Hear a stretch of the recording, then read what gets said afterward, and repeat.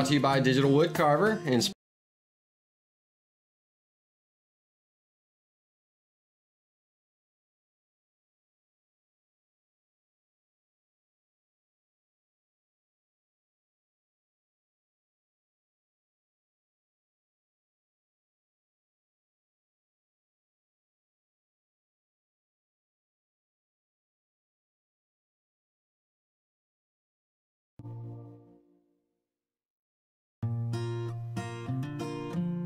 Good evening, everyone. I am your host and instructor, Laney Shaughnessy, and welcome to Spindle TV, your best source for CNC CAD CAM training videos. Spindle TV is brought to you by Digital Wood Carver, inspiring your creativity and providing you with the tools to create your own unique masterpieces.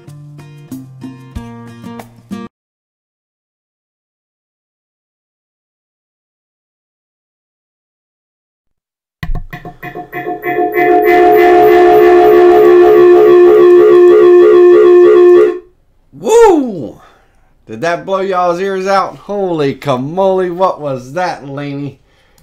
That was bad, bad, bad timing. Sorry about that, everybody. Lord of mercy. That's what happens when you don't hit the mute button on your on your microphone. All right, sorry about the blowout. Let's see here if I can type that out for you. Sorry about that. All right. I hope everything is going well with you guys. Hope you had a good weekend. And uh, I know some of you, um, yeah, one heck of an entrance. Uh, I know some of you, I've uh, been monitoring the Facebook group. And I know some of you are uh, you know, having some technical difficulties and just things that you need uh, some help working out. And I really appreciate everybody jumping in and helping uh, one another uh, with questions and answers and stuff. And uh, I'm going to go through and see if I can, you know, try to help out as well and get some, you know, get, get everybody on track again. Um, I want to welcome everybody.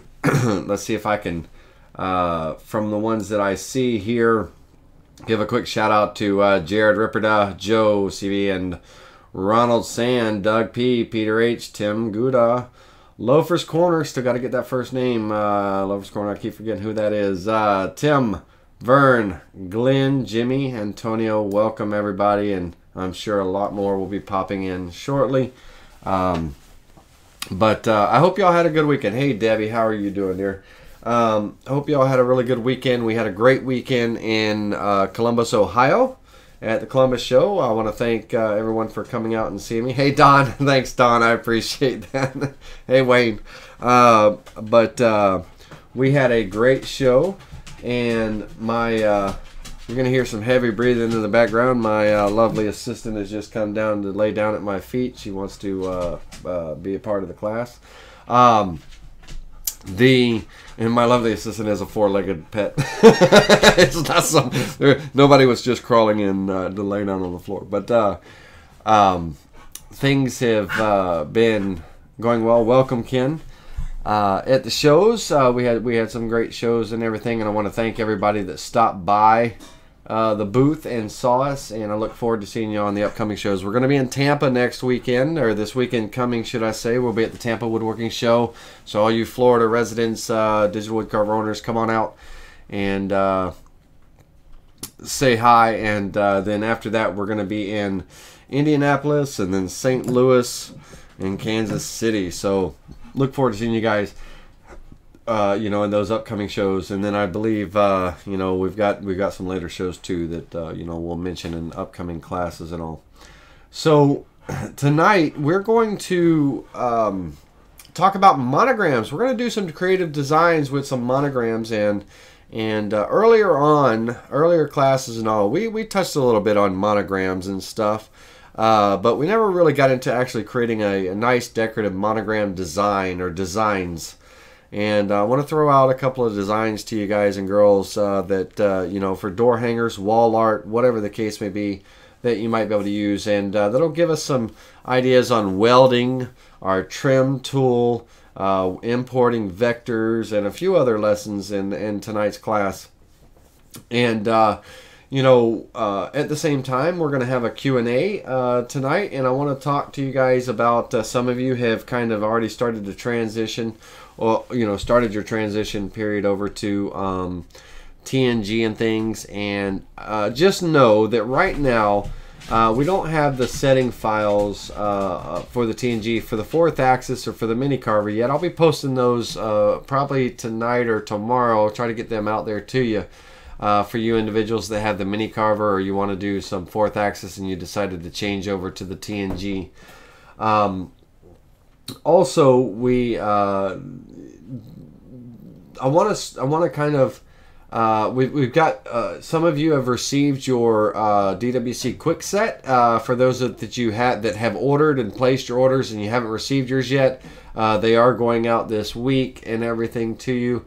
Uh, we were waiting on one particular part and stuff, but I want to talk about that. I want to go over that at some point in time, you know, on the setup and and use of that tool, and um, but also I want to start talking about TNG a little bit from time to time and and see if we can get maybe a class or something on that so you guys know what you're looking at because it is a little bit of a different environment than the CNC USB controller, and uh, don't want y'all lost. All right. Well, with that being said, we've uh, it's 7:06. Let's go ahead and transition over to our uh, CNC USB. Not CNC. Let's transition over to our Vectric software. Everything that we're going to be doing tonight is applicable to Vectric VCarve Desktop, Pro, or Aspire. And um, the uh, so any whatever program you have, uh, you know, tonight's class should be applicable to you. All right, let's see here. Let's transition. See if I can do this properly.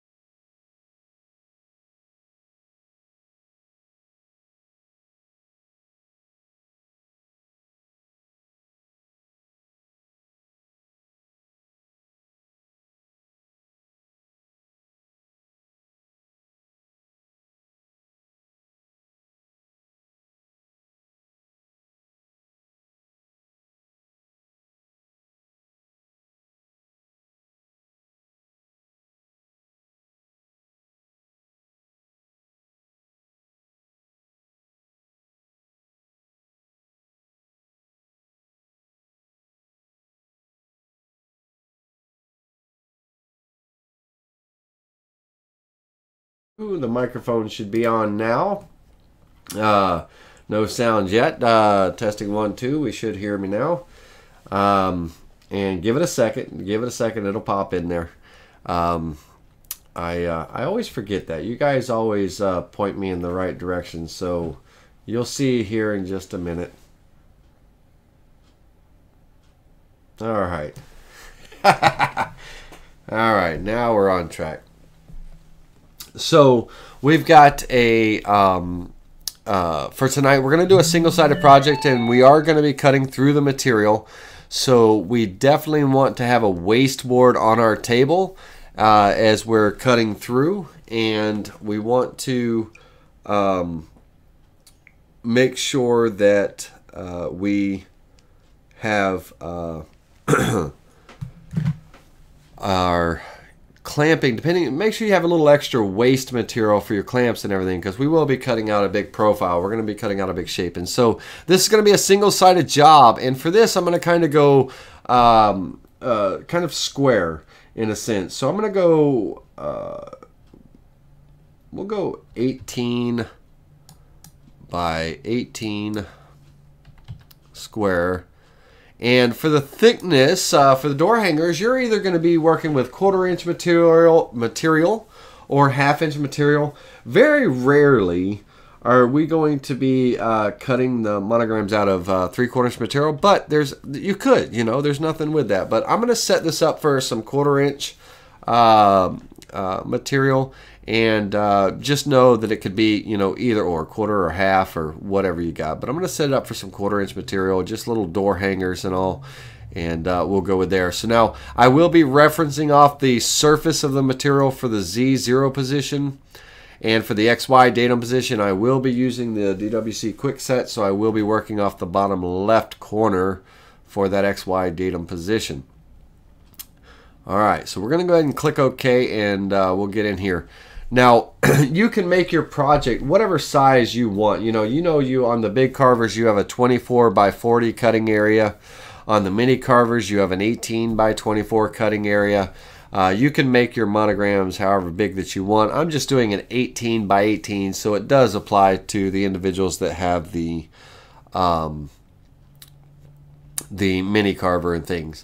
Now, uh, the the first thing we want to do is uh, I want you to let's pop out of this screen for a minute and let's look at our digital woodcarver group. Okay. Uh, in the Digital Woodcarver Owners group, in the file section, we have files. Uh, and you're going to have a zip file that I'm going to upload uh, this evening after the class uh, with some monogram files, uh, Vine monogram files, uh, DXF, EPS, AI. They're going to be in a zip file. but these are the monograms we're going to be using in the class tonight, so they will be uploaded in the file section of the group uh, this evening. And also for you newcomers that are new to this and new to the group and everything, and you happen to be watching this video, uh, in this group you will find lots of different uh, files, uh, project files, instruction files, uh, PDFs, uh, model files. The, the, the group has been awesome about sharing things. Uh, but one of the things I definitely want you newcomers that are just getting your Vectric software and getting things set up, the one thing I do want you to do is I want you to go to that file section. I want you to scroll down and click on See More and go to that second page and kind of scroll down a little bit further. And I want you to look for the file that says DWC Owners Group Speed and Feed Chart. In that speed and feed chart uh, will be your uh, recommended, uh, you know, default speeds and feeds for the bits that are kind of defaulted in your Vectric software and the default numbers are running hundreds of inches a minute and things like that. We want to slow them down, so be sure to follow this speed and feed chart uh, for when you're setting up your tool database. That being said, um, this is where you're going to find a lot of project files. And tonight's class files, the monogram files, will be uploaded if you never got them before from a previous class where we worked with them. They will be uploaded tonight, and they are located in the Digital Woodcarver Owners Group file section. And you will be able to see the post of that in the discussion, of course, where we are posting. You know, uh, you'll see me, you'll see my post, and uh, with that file being uploaded. All right, that being said, let's go back to our Vectric program and let's get into this. So, um, the first thing I'm going to do is we're going to do a uh, a, a, pretty basic uh, circular design, but we're going to do our family name and everything along with the monogram. So let's get the shape drawn first. And so I'm going to come in here and I'm going to draw a circle and I want my center point of my circle to be at x9 because remember I'm at the bottom left corner so I want to be 9 inches over on the x-axis and I want to be up on the Y9 because I'm working at uh, with an 18 by 18 piece of material and 9 by 9 uh, X and Y is the center point of that board that working area there so you can see as I put my mouse over here you see that crosshair and you'll see that 9 by 9 so uh, I want a uh, 18 inch diameter circle so I'm going to create that. and it should take up my whole work area there. Awesome sauce. All right. Now, from here, we are going to write a uh, some text in uh, the border of this circle, and then in the middle of this circle, we're going to have a monogram for our family name or whatever it could be. And yes, I am recording, uh, and this is uh, recording and um, going live. Uh, thank you, Tim, for that question. Always good to have a reminder. Um, the first thing I want to do is I need the space. I need that area where we're going to be writing our text and stuff. So I'm going to take and select the circle. And by clicking on the line, it turns pink. That means it's selected for those of you that are new and uh, you know wondering how to select an object. By the way, anything we draw in our working area is an object. It's either a vector object or a text object. Uh, and uh, this object is selected, so it's pink. And so now I want to go into the offset and layout tools over here on our drawing tab. And I want to click on the offset tool and I want to offset inward. And I want a, I want a decent size border. Uh, so I'm going to go an inch and a quarter uh, for the border. And I, it's a circle, so I don't want to, I don't need to create sharp corners. But I'm going to go, I'm going to offset inward an inch and a quarter. And I'm going to click, click, click offset. And as a matter of fact, that still that's not big enough. Uh, you know because i'm gonna have some text in there. So i'm gonna undo that. And undo is the control z key or we can right click on the screen and click undo. And i'm gonna change that. I'm gonna go two full inches two inches. There we go. Uh, much better. And so uh, now we've got our offset. And so now we have some area in here to to write some text. And so i'm going to close the offset tool. We're finished with it for now and I'm going to click in white space to deselect that uh, object that was selected, that, that offset that we created. And now I'm going to open up the draw text tool and we're going to start out with the family name or, or what have you. Uh, for this, um, let's, uh, let's, let's say that this is um, the, uh, oh gosh, what's a good family name? Uh, let's see here. The and I'm going to go all capitals too. The Reynolds Reynolds family. Bert and Linda. No, I'm just kidding. Uh, Reynolds family. And I'm going to choose a font. Now, the font can be anything that you want it to be. Uh, it could be any decorative style, any kind of uh, really anything. I'm going to use what's called the News uh, BT font. And um, that font is available on dafont.com, D A F O N T.com. Uh, if you can't find the news font, there's three different fonts. Uh, if you can't find the news font, let me know and I'll upload that font file uh, to uh, the Facebook group as well because it's a font that can be used both personally and commercially for free. So I'm going to use the uh, the news font, and I want it to be bold. So I'm going to click on bold, and since I have a two inch clearance here, I'm going to go. What am I going to go? I'm going to go two inches. Let's go two inches, uh, full on, and click apply. And now, because I'm starting at the bottom left corner, and that's where my X0, Y0 is, and that's what I had for the anchor point, that's where it dropped the name Reynolds. And so I'm going to go ahead and double click on that. You'll see these boxes pop up. That means it's in transform mode. And I'm going to come over and just drag that just somewhere on my screen, uh, you know, just somewhere there uh, for right now.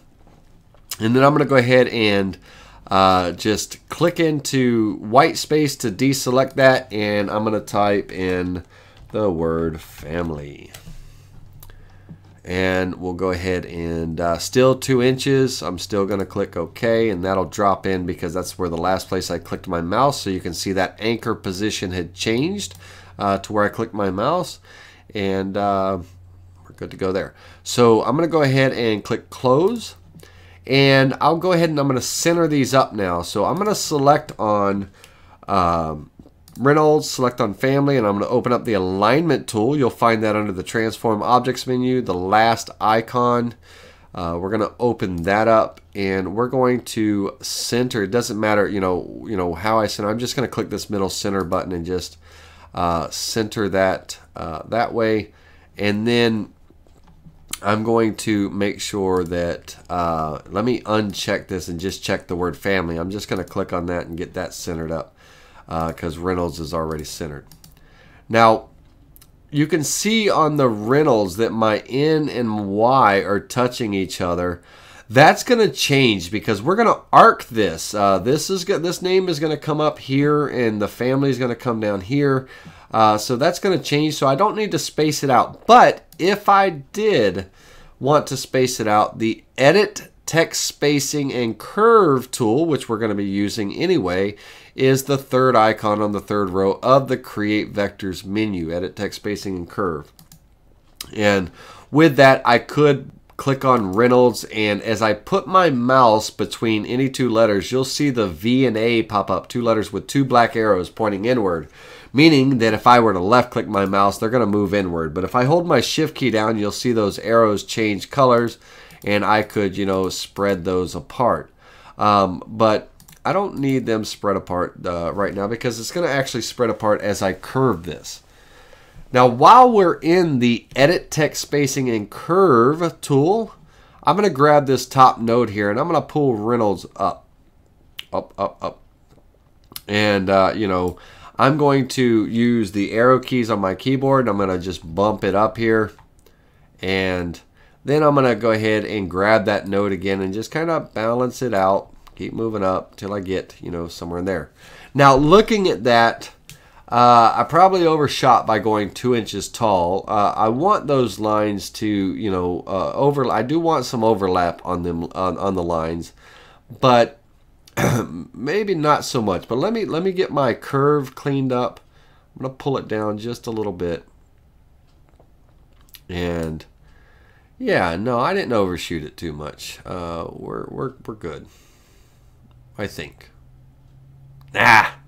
Now let's resize it. I'm gonna bring it down just a just a smidge. So I'm gonna go to my text tool here, and uh, I'm gonna bump that down from two inches to one and uh, three quarters. And oops, click on your text.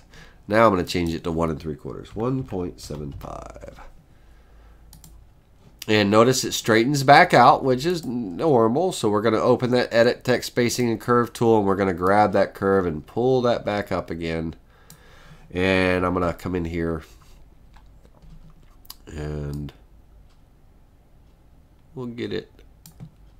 Let's see, I just want to smooth it out. Now I'm using the Edit Text Spacing and Curve tool uh, to to get in uh, you know my text where I want it. Now, absolutely, there are more than one way. There is more, should I say, not are more. There is more than one way to skin a cat.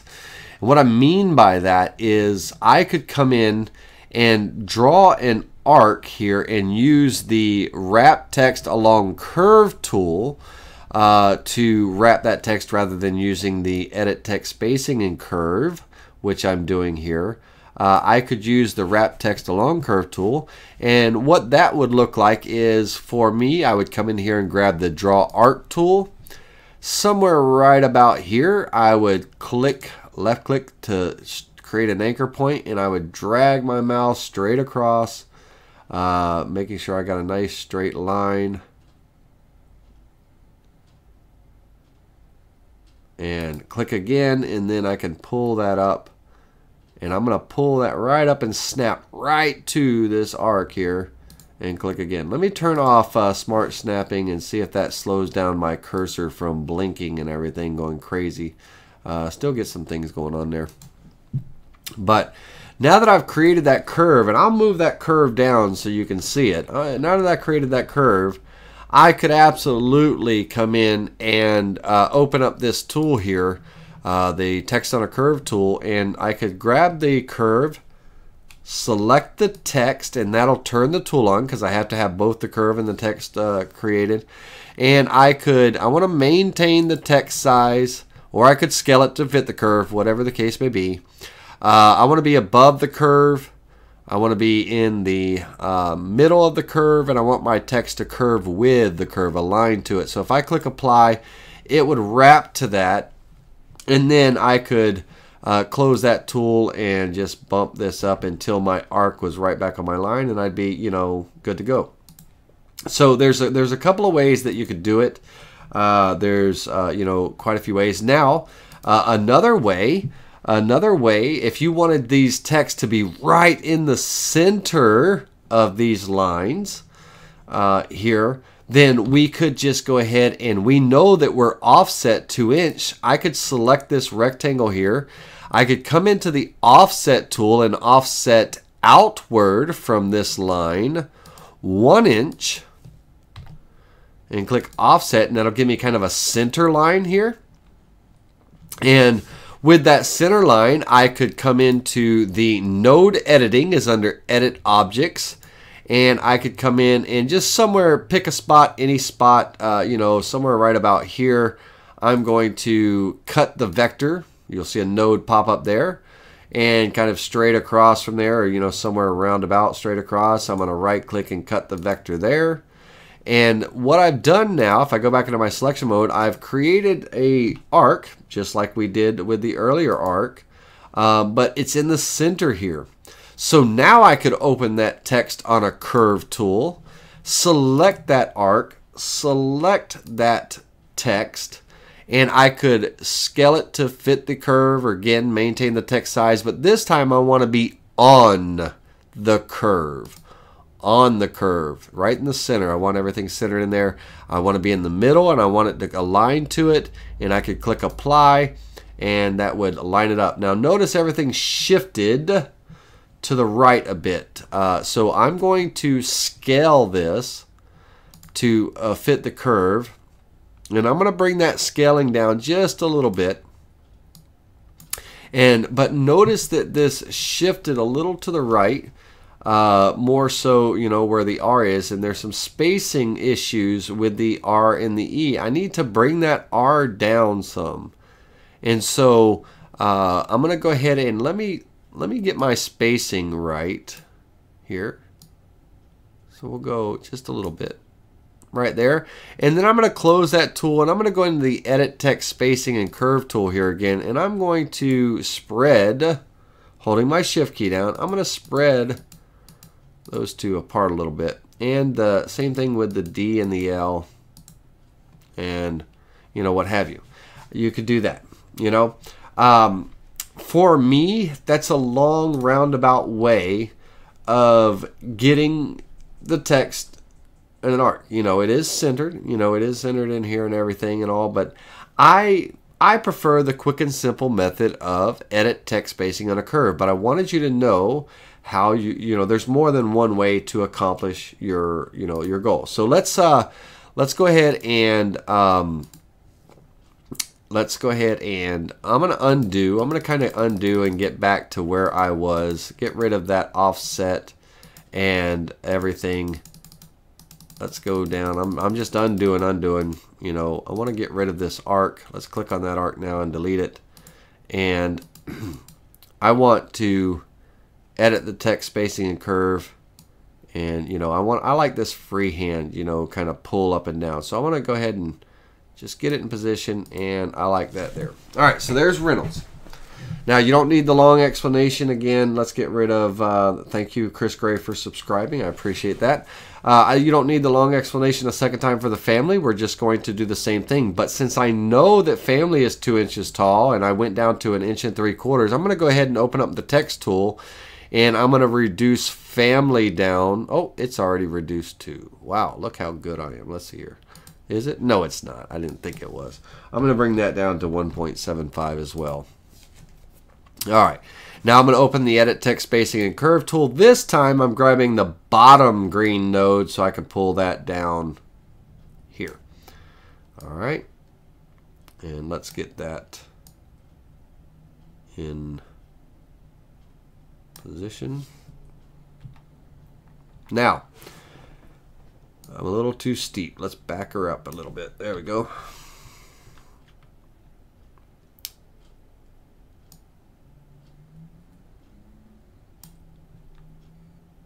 All right.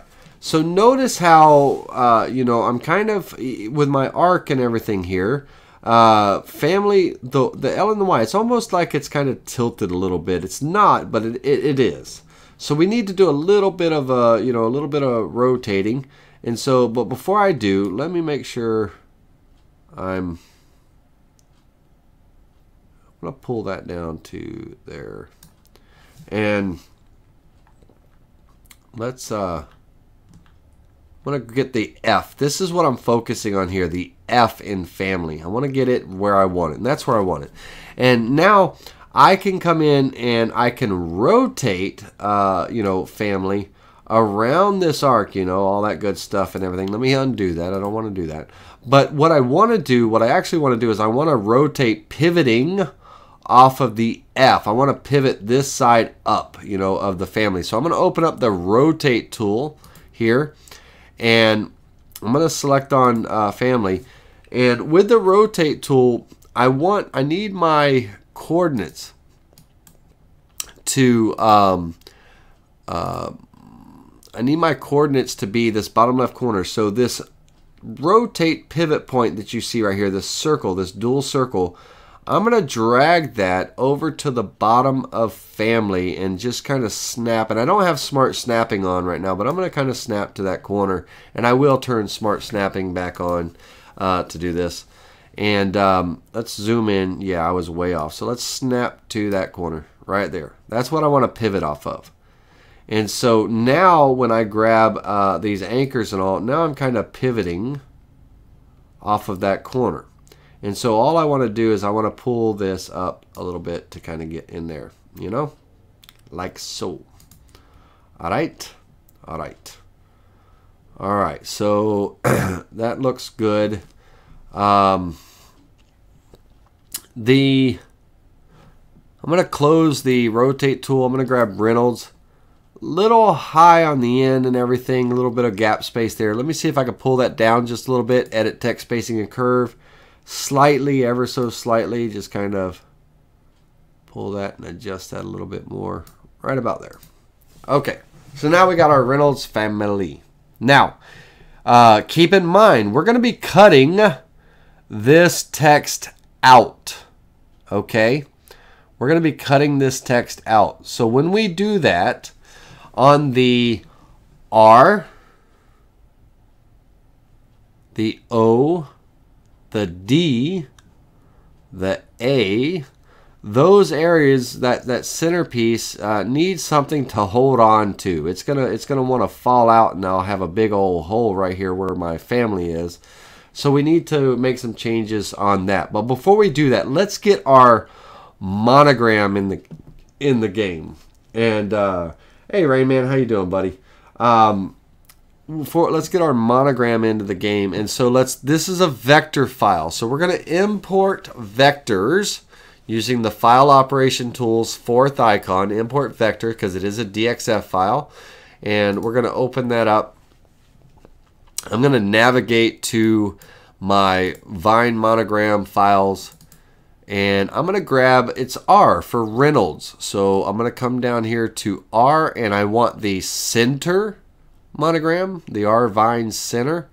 And so I will open that up. Now when that opens, it opens huge. If we zoom out, this thing is about 99 inches tall, you know?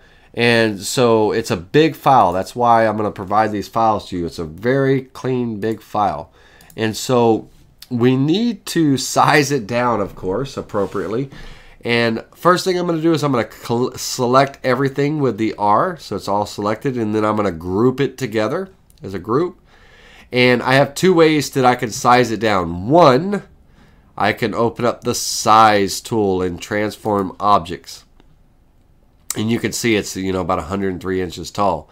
And I can size this down. Now I know that my circle was one inch or 18 inches. I offset two inches in. So I have an inside circle of about 16 inches. So my height needs to be at least under or around that. So I'm just going to type in 16 just to get me, you know, close to home. And I'm going to click apply. And from there, I can use my alignment tool and align to the center of my project. Or I could have used F9, the shortcut code, to get to the center. And with that, now I can kind of zoom back in. And, and even at 16 inches tall, we're still a little uh, tall there. So, um, you know, in our in our height, um, which is weird because I should be at 16, right? Let's go and let's look at my size there. 14. What's this one then? 18. Ah, two inches and two inches on each side is 14. Four.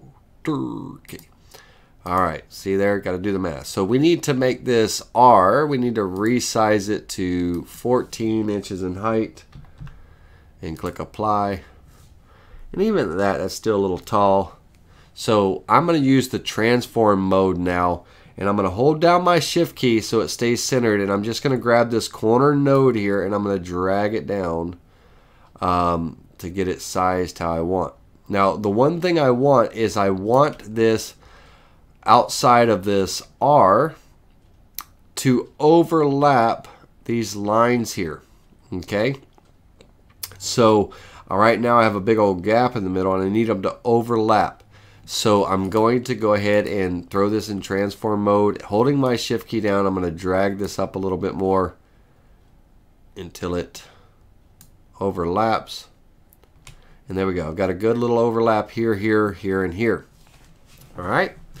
So we're good to go with the R. All right. Now, uh, with this, uh, we're going to go ahead and ungroup that R. Click on ungroup or the letter U on your keyboard, either one, but ungroup is located under the Edit Objects Tools, uh, first row, fifth icon.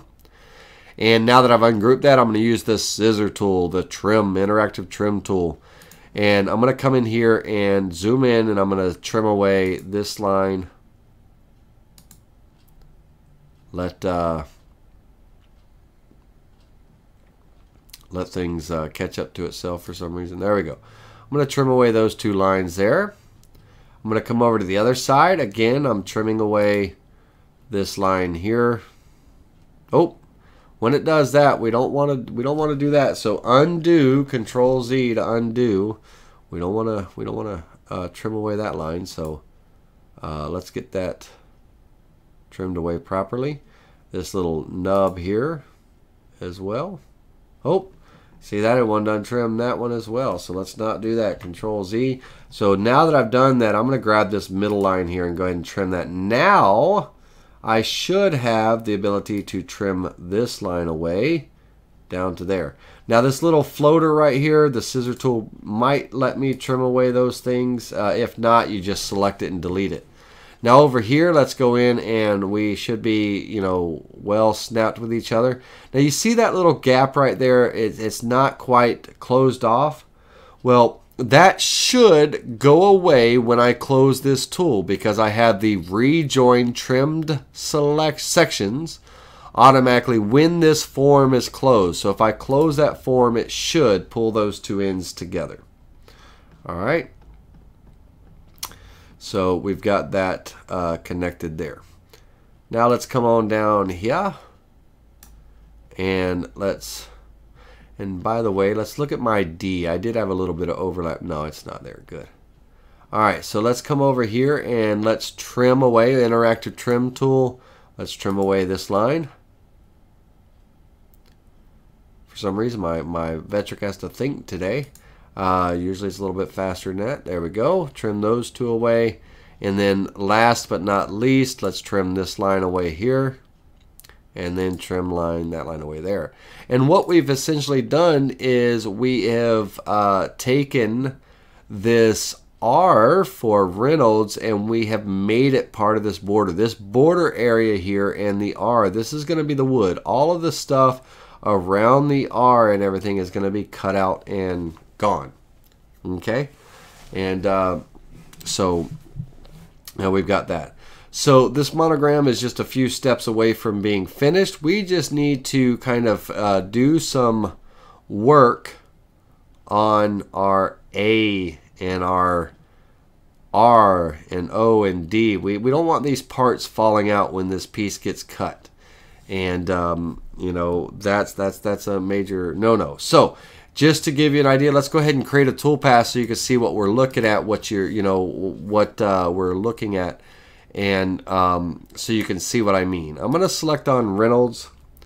I'm going to select on family and I'm going to uh, create a profile cut and this is got to be a small end mill. It's got to be a very small end mill, 16th or something for something this size. Uh, maybe an eighth of an inch might get in there. We'll find out. Uh, but I'm cutting, you know, through my material 0.25.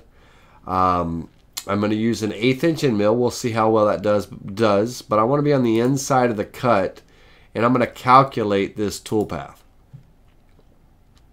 Okay. Now, notice a couple of things. One, one, there's parts. Of, let me quick zooming in and out on you. Uh, let's change this uh, to a maple so you guys can see what's going on here. There we go. Uh, notice that parts of my R are missing, parts of my E, Y, N, and, and everything. You know, that's because the bit couldn't fit in there. So it didn't create a toolpath in those areas. It only created a toolpath where the bit could cut. So that tells me right away that my eighth inch end mill is going to be a little bit too big for this small 18 by 18 project, you know, to carve out inside those letters. So I'm going to switch over to my 16th inch end mill. Now, if you don't have a 16th inch end mill, uh, pretty soon you'll be able to order them from us at digitalwoodcarver.com. But in the meantime, you'll be able to order them uh, from Amana, uh, like places like Tools Today and things like that. Uh, you know, they sell them, but eventually we'll start selling the little 16th inch end mill. And um, we're going to go ahead and hit on select. And I'm going to go into the 16th uh, inch end mill. Now, if you don't have a 16th inch end mill, you want to carve a design like this and everything, then make your project a little bit bigger. Make your two inch offset, make it two and a half inch. You know, give it, give you, give that band around the monogram a little bit more width, uh, so your letters are a little bit bigger. And look at different fonts. Uh, you know, this font isn't very fat in very areas. You know, but if I use something like a Rockwell Bold or or something a, a Tahoma font where it's kind of a block letter and all, then, you know, I could have used my eighth inch end mill. But I'm going to change to the 16th inch end mill and I'm going to recalculate that toolpath. And there we go. You can see now all of those letters pop back in there. Okay. Now, let's look let's let's let's come down to the bottom and hold my control key down on my left mouse button i'm going to drag this up and you can see family looks good too we got some we got tool paths in between there now here's where here's where our problem lies um, is uh, this is where our problem lies, and this is why we got to make some changes. Is if I were to preview this selected toolpath, okay, and I let's let's say I clear away the waste material, you know here. Well, what's going to happen with my A? I got a big old hole right there, right? You know, so we don't want that. Um, you know, uh, I don't need to clear out all these, but you get the idea. The A is missing. Well, let's look up at the top here and let's see what's missing there, uh, which of course you can guess it. We've got the R, you know, that's going to be falling out. There's no center of the R. The O, that's going to be falling out. There's no center there. And then, of course, the D. Oops. And so that's not going to work for us, you know, for, for that. So we need to uh, create some bridges, little bridges and stuff. And so let's start with the R over here and um, uh, create a bridge. We need to open this up almost like a stencil font. And a stencil font would be uh, excellent uh, with this. And uh, Steve Brenneman says use a V-bit. Um,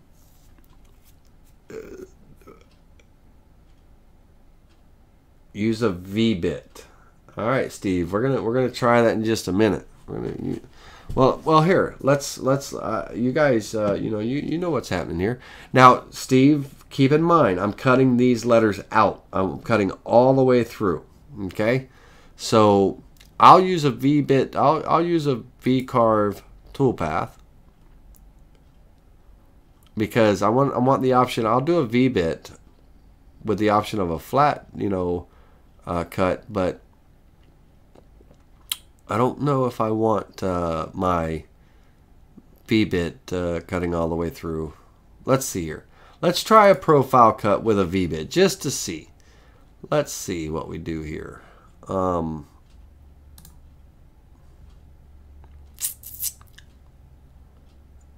and Steve, you can you can elaborate on that too inside the uh,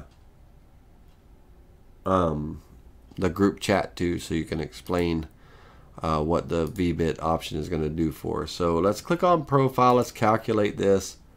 Let's reset the preview and let's see what's going on here. Well, see with the VBit, with my VBit and everything, my letters are missing, you know? Um, and uh, so not quite appropriate in this, but let's use a V, let's, let's change it up a little bit. Let's use a V-carve toolpath with a V-bit, and then I'll use a small end mill to clean up. I'm going to cut through my material and click calculate. Okay. And let's see what happens now if we preview this toolpath. And let's see what we get.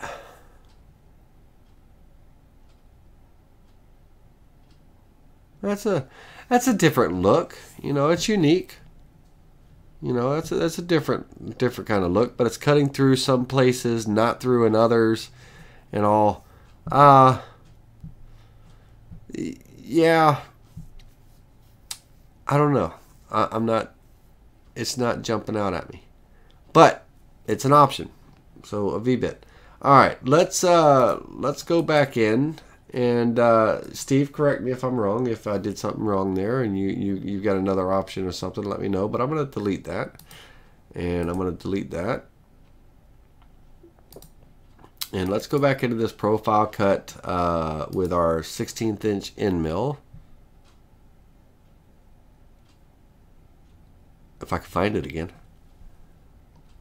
End mill, there it is. All right let's go and fix some things. So I need to bridge. Uh, this is all wood right here and everything. And when it cuts out this R, I need some way that, you know, this center area doesn't fall out. I need to kind of bridge it here and here. So uh, for me, I'm just going to very simply create a rectangle. And um,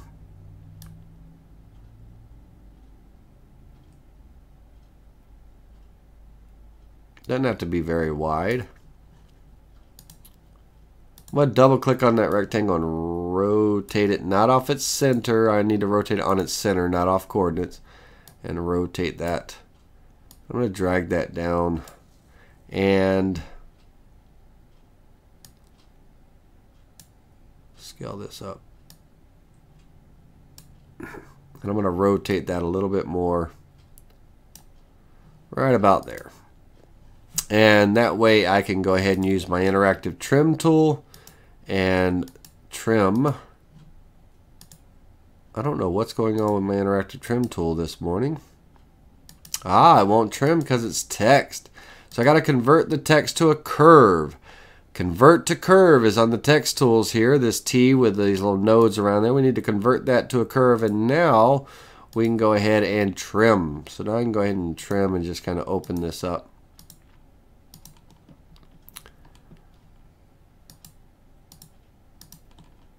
All right, so that'll tie that R into the rest of the wood there. Uh, let's go over to our O.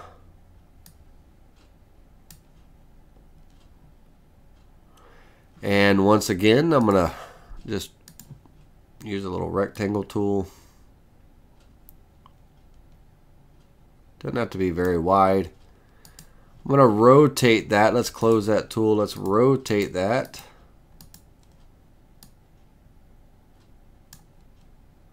Gonna move it over.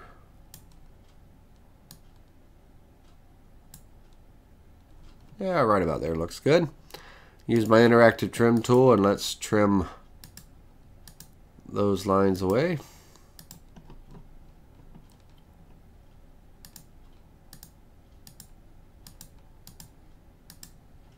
Okay. So that'll tie that O in and then one more with the D and then we'll do the A. Let's do the D. Just going to draw a rectangle. Again, doesn't have to be very wide. And uh, double click on it, throw it in transform mode. Let me stretch it out a little bit more. I'm going to rotate that a bit and drag that down and make it a little bit bigger.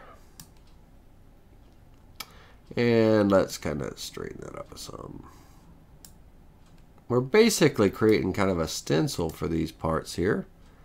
Uh, so let's go ahead and trim those lines away.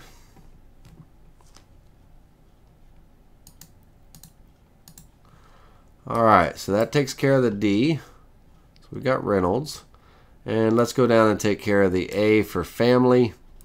And for the A, um, I'm just very simply going to uh, just cut this line here and just kind of open this up. So what I will do is I'm going to, uh, I'll still use the rectangle tool.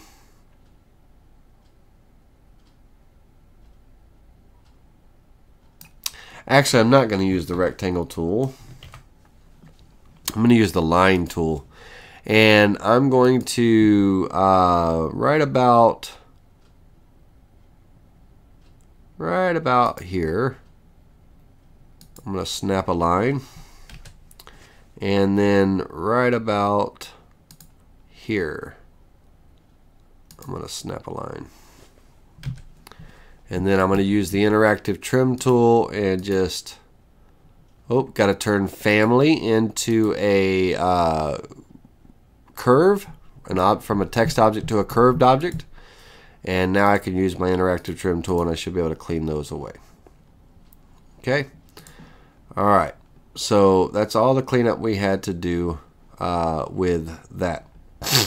now, with this, we can go ahead and um, we should be able to select the entire project. Uh, and with our profile cut cutting through a quarter of an inch, we can be on the outside of the line. The software is smart enough to know that if we're cutting on the outside of the line that there's inside vectors there. So it'll cut on the inside of the line. But let's make sure, let's, let's just, uh, you know, uh, see if uh, everything goes well. And um, I can use my I, I don't really need to use my 16th inch end mill to do the whole thing, but it doesn't hurt. It's not a big project, so that bit, you know, uh, it'll be a pretty fast cut. So I'll just go ahead and keep it with the 16th. And I'm going to calculate this just without any ramps or without any uh, tabs for right now, uh, just to see, make sure everything cuts properly. So if I reset this preview and I preview this toolpath, I should be able to delete this away. I want to delete my waste material.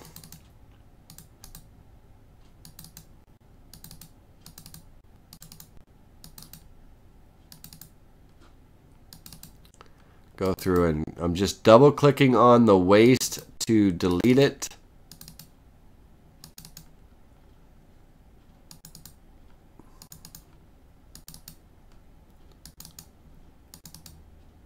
Even this little, oop, get that one away. And then we'll get rid of the last little bit of waste here.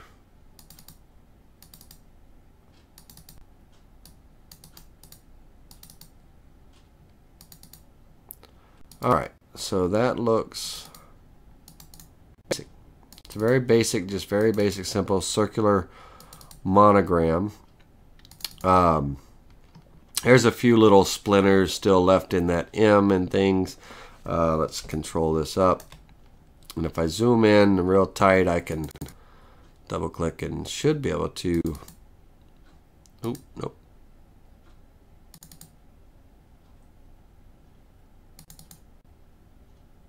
All right, too many little scraps and all, but let's take a look at this as a whole. Let's see here not bad for a basic little uh, little monogram. Uh, you know, not not bad. Let's let's let's get into something a little bit fancier. But there's there's a you know uh, a nice little you know monogram that can hang up you know on a door or the wall or whatever. I would probably make the band a little bit wider and I would space the Reynolds and everything in the center of that wider band so it's kind of floating a little bit better, uh, you know.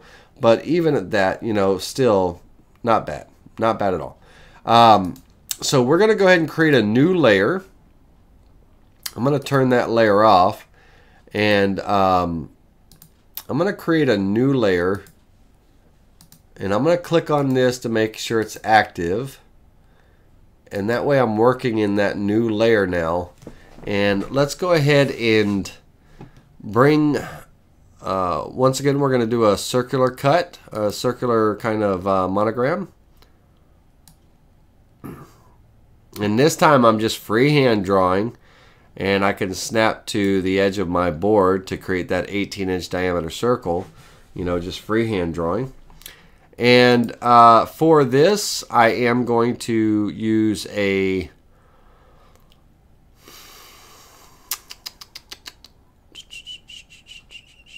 offset. And for the offset, doesn't need to be that wide. I'm going to offset inward one inch. There we go. And then I'm also going to create a rectangle.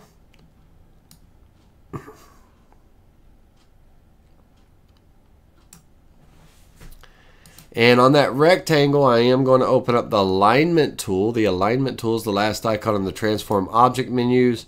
Uh, and I am going to make sure that is dead center. Okay. And then we're going to bring in a monogram. So import vector from a file. And this time I'm going to go with, uh, let's go with the letter C. Just for kicks and giggles. All right. So now if I turn on that layer one, uh, our C popped up on that layer one for the vector. Uh, let's go ahead and while it's selected, I'm going to right click and move it to layer 2 so that way I can turn layer 1 back off. The reason why it went to layer 1 because this is a vector and when I imported the letter R it created its own vector layer and so all vectors that I'm importing from this point on on the same job are coming into that layer. Uh, with this I'm going to go ahead and uh, group the uh, C back together again. Let me deselect. I just had to reselect everything. So I'm just going to click on holding my shift key down to deselect these items here. And I'm going to group together the letter C and I'm going to size this down using the size tool. We're about, uh, I'm going to go 16 inches and I can drag this over and snap to the center. I can use the F9 key. I can use the um, alignment tool, align to center, any way that I want to get it onto the board and into the center. Uh, we can, you know, we can do. Now for this, I will uh, go ahead and throw it in transform mode by double clicking on it and drag this down. Oop, not that much. The orange line is kind of a shadow, you know, uh, that you're, you're, you're seeing uh, things create. And all I'm doing is I'm dragging this up until I get a nice overlay. That's good. I don't need to go any further than that. Oh, stop. All right, a little bit too much. Um, my software is a little slow tonight. I think it's because I got all the recorders and stuff going. There we go. I just need a nice little overlay, overlap of all of uh, that stuff. Now, uh, let's say that their last name here, and I'm going to select this rectangle, and then I'm going to open up the draw text within a vector boundary box. Okay, draw text within a vector boundary. Now, before I do that, I need some ridgewood here, you know, so I'm going to I'm going to offset this box in inward a quarter of an inch. Create sharp corners, offset inward a quarter of an inch. There we go. Now with that inner box selected, now I'm going to use the draw text within a vector box and let's go ahead and write in the last name. Let's say that these uh, guys are the uh, chambers. Chambers. All right. And uh, I want it to be centered in the box. I want to stretch the characters vertically. I want them to be definitely tall as the box. Horizontally, I'll do manually. So I'll leave that at none. And I don't want any margins, no margins, and I want to click apply. All right. And so um, We've got no margins centered, uh, stretched vertically. There we go. All right, now I want to close this tool and I'm going to double click on this. I need to bring chambers into the monogram area. So I'm going to hold down my shift key. I double clicked on it to put it in transform mode. Holding my shift key so it stays centered. And I'm going to grab and drag this in just a little bit. Not much. Just something. Right about there. And I'm going to drag, I'm going to grab this middle upper box here, and I'm going to drag this so that those letters overlap that inner line a bit. Okay? Now, what we need to do is we need to do some trimming on this uh, border and everything. But before I do that, I want this inner rectangle here I want it to be trimmed around these letters. I'm just using the word chambers here as a template. That text will get deleted in a moment. Uh, we'll delete it in a moment, but I want to use it as a template. So I want to, first things first, I want to make sure that my letters are overlapping the line by somewhat. They don't need to be overlapping that much. So let's bring it down just a hair. So I'm going to come into the center here so I can double click on this and see my center node. I'm just going to zoom in holding my shift key knowing that my top and bottom is going to uh, uh, you know uh, scale evenly. If I hold down my shift key I can grab this down and just come down just a little bit. All I need is a very small amount amount of overlap down the top and bottom. All right. Now, when I do that, the chambers is going to be my boundary. Okay. The rectangle is the object that I want to clear around that boundary. So if I open up my in not my interactive trim tool which is the scissors but my trim tool which trims a selected object to a last selected boundary or object. If I open that up it says here, select the object you wish to trim, my rectangle. Hold down your shift key and add another object to the selection, which would be holding down the shift in the chambers. And then that last selection will become the boundary. And I want to clear everything inside of the boundary. Okay? Inside of the boundary. Now, when I do that, when I do that, you'll actually see here, if you can see the pink lines, it actually redrew the lines and redrew them around the text and everything. And so now, if I come in and click on the text and delete it, I'll just use the delete key to delete it, you'll see the chambers in there that has been kind of grouped in to that border. Now I can come in with my interactive trim tool and I can do some trimming. So let's go with the interactive trim tool and let's clear away this line and this line. Let's zoom in and clear away this line and this line. And then I need my border and the borders of my top and bottom here to be blended together. So I'm going to trim away this line, get rid of these two lines, and trim away this line, okay, to connect all that together. Now I'll come back and we got to do some trimming in the middle here for the letter C, but let's go back over here to this side and let's rinse and repeat. So we get rid of these lines here and then we're going to open this up here and here.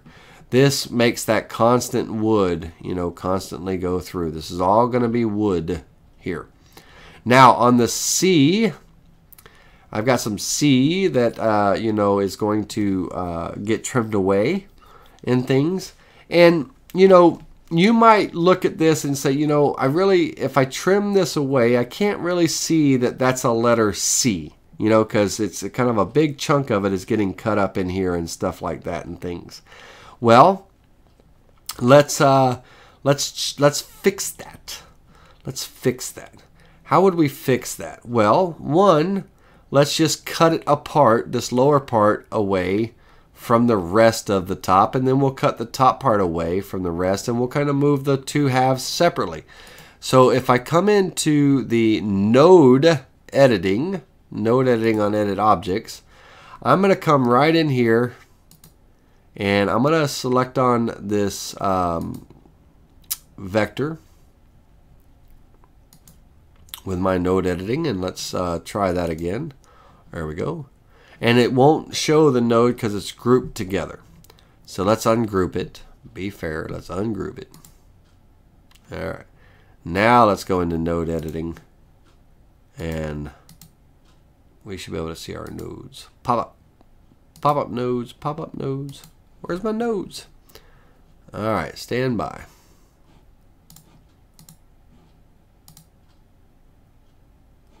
Ah, there's a lot of nodes. That's why. All right. So I am going to pick two nodes. Any two nodes. Doesn't matter. Uh, just pick a node, any node. And um, I need to pick a node up here. So I'm going to come way up here because we're going to just be moving this down so much. So I'm going to grab this node way up here. And I'm going to cut it there then I'm going to click on, select this, and I'm going to grab somewhere, just somewhere up here, because it's going to get trimmed away, but I'm still cutting up high.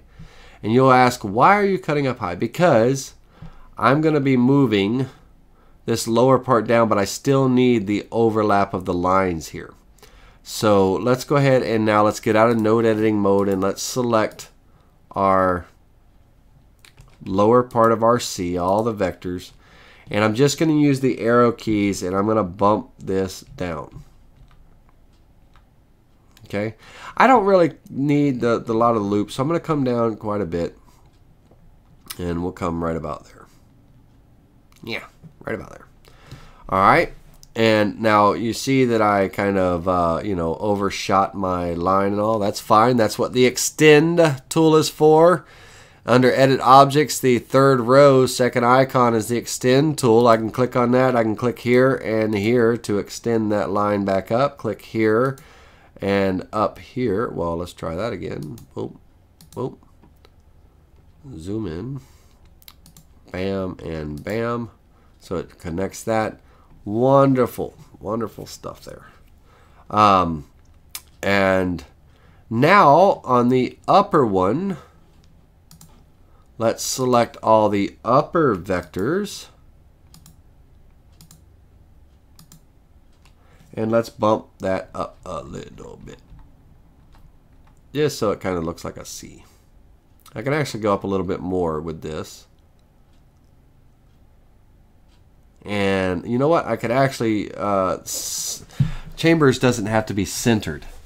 Uh, so um, I can actually bring that up a little bit more right about there. And uh, I can bring chambers up into this open area here. All right, so we'll leave that there. Let's get let's grab chambers. And um, how do we grab chambers? Well, the easiest way is to uh, just redo the rectangles and uh, write the name chambers in and just re-trim again or we could do node editing. And uh, I'm all about you know challenging you guys to learn these things. Uh, so we're going to use the node editing option here. And we're going to uh, come in and go into node editing. And I don't know why my node editing is acting up this morning. Acting up acting up. Come on now. All right going to select this vector and then go into node editing. There we go. I'm going to cut this corner node right here. We're going to cut it. Cut vector. Uh, and then I'm going to cut, I'm going to click on this one here and cut this one. So I basically cut those away from the side frame there. We're going to come over here and we're going to cut this vector, come down here and cut this corner vector. Okay. And what did we accomplish by cutting those four vectors? Well, now this is able to, you know, freely move up. Now, but Laney, when you do that, it throws off the circle of the center of the circle on the edges and things like that. How do we fix that? Very easily. I'll show you. Hold on a minute and I'll show you. All right, let's get chambers where it needs to be. Right about there. That's fine. That looks good. Looks good. All right. so how do we do that? First thing we're going to do is we're going to take this half of this circle and we're going to delete that. We're going to take this half, we're going to delete that. We're going to grab this outside circle and offset it inward, back inward, one inch as we had it before. All right. And then with our interactive trim tool and our extend tool, we're going to clean up this area. Okay, so the first thing we're going to do is we're going to use the extend tool and we're going to extend this line to the edge there. Let's look at the other side. Do I have to extend this one? Might as well while I've got the extend tool going. Extend that to there. All right. Now we're going to come in and we're going to do some trimming. And I want this line Excuse me, ladies and gentlemen. Sorry about that. Uh, can't you just weld that? You could weld it, but it creates a little bit of a different uh, pattern because a weld deletes everything from within the center, and we don't want to, uh, you know, delete everything from within the center. But yes, you could weld it. Yeah, we, will we'll, we'll explore that in just a second. We'll see if the weld tool works as well as well. Um, I know the trim tool clearing inside the boundary works perfectly every time, but there's always, like I said, there's always more than one way to do it, Glenn. So let's we'll take a look at that. But first, let's go into node editing mode and let's um, take and I need to extend this line right here. So why is my node mode killing me today? I'm going to cut this vector right there. Cut it. Ugh. And then let's look at the other side, see if I got to do the other side the same way. Yeah. So I'm going to select on this and cut that there. All right. Now that I've done that, I'm going to use the extend tool and I'm going to extend this line that I just cut from here to here. Nice work. And then on the other side, extend this from here to here. Okay. Now I can use my interactive trim tool and I can go ahead and just kind of start cleaning up some things. So clean that up, clean up this one, clean up that line. So we're back in business. Gonna come over here, we're gonna trim away this line here, that line and that line. We're gonna come down and trim away this inner line and this here. We're back in business. Now we can get rid of, and we got to do some extending and stuff. So let me do that first before I trim. Let's extend this line from here to here, this line from here to here, and then go back into that interactive trim tool and let's clean that up. You know, that connects all of this down. And let's get rid of uh, this line that's running through my A here, here, and there. Kind of that ties that C into there. And then let's do some of our outside trimming. So let's get rid of, you know, this stuff. Oops, my C wanted to disappear. Let's undo that. And let's come in and trim this line away and this line away. Then we should be able to get rid of, oh, it's wanting to clear that away. So I'm going to zoom in a little closer.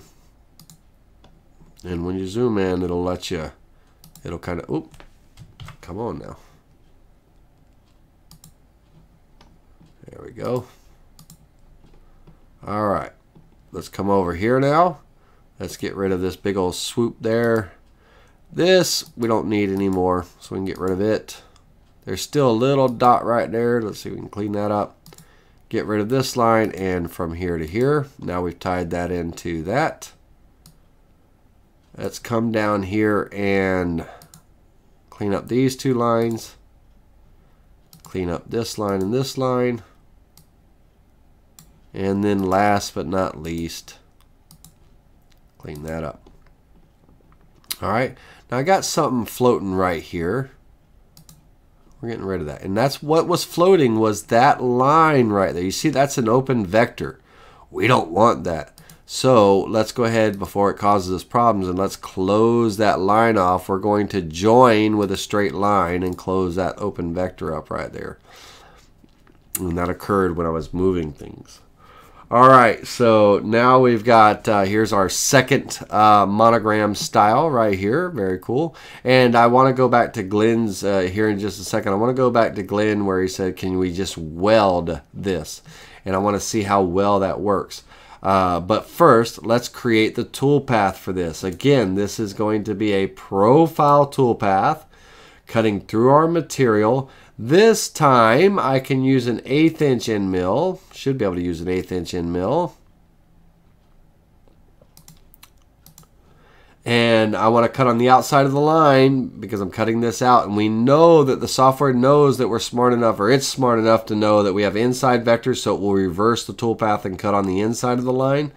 So we'll just leave that for outside for the machining vectors.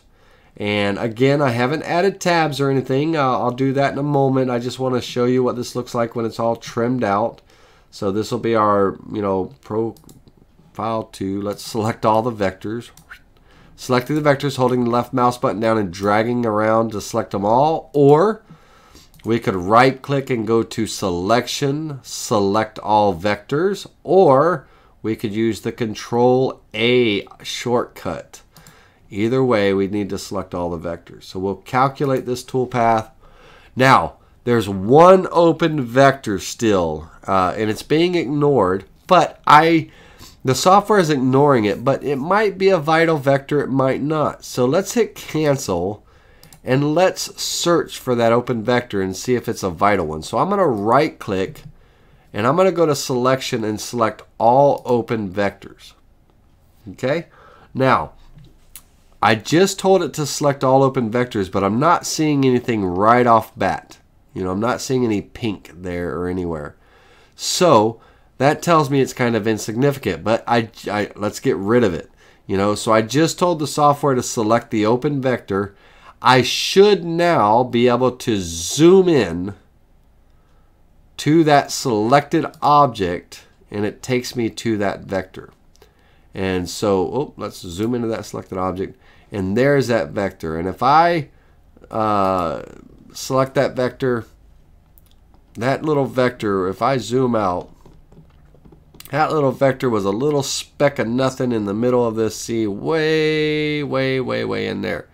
So I'm just going to hit the delete key on the keyboard to delete it because it's not valid, not valuable. All right, so we're going to select that once again and hit calculate. Reset our preview and preview that selected tool path to cut out. And again, we can get rid of our waste material. Double click on the waste will remove it.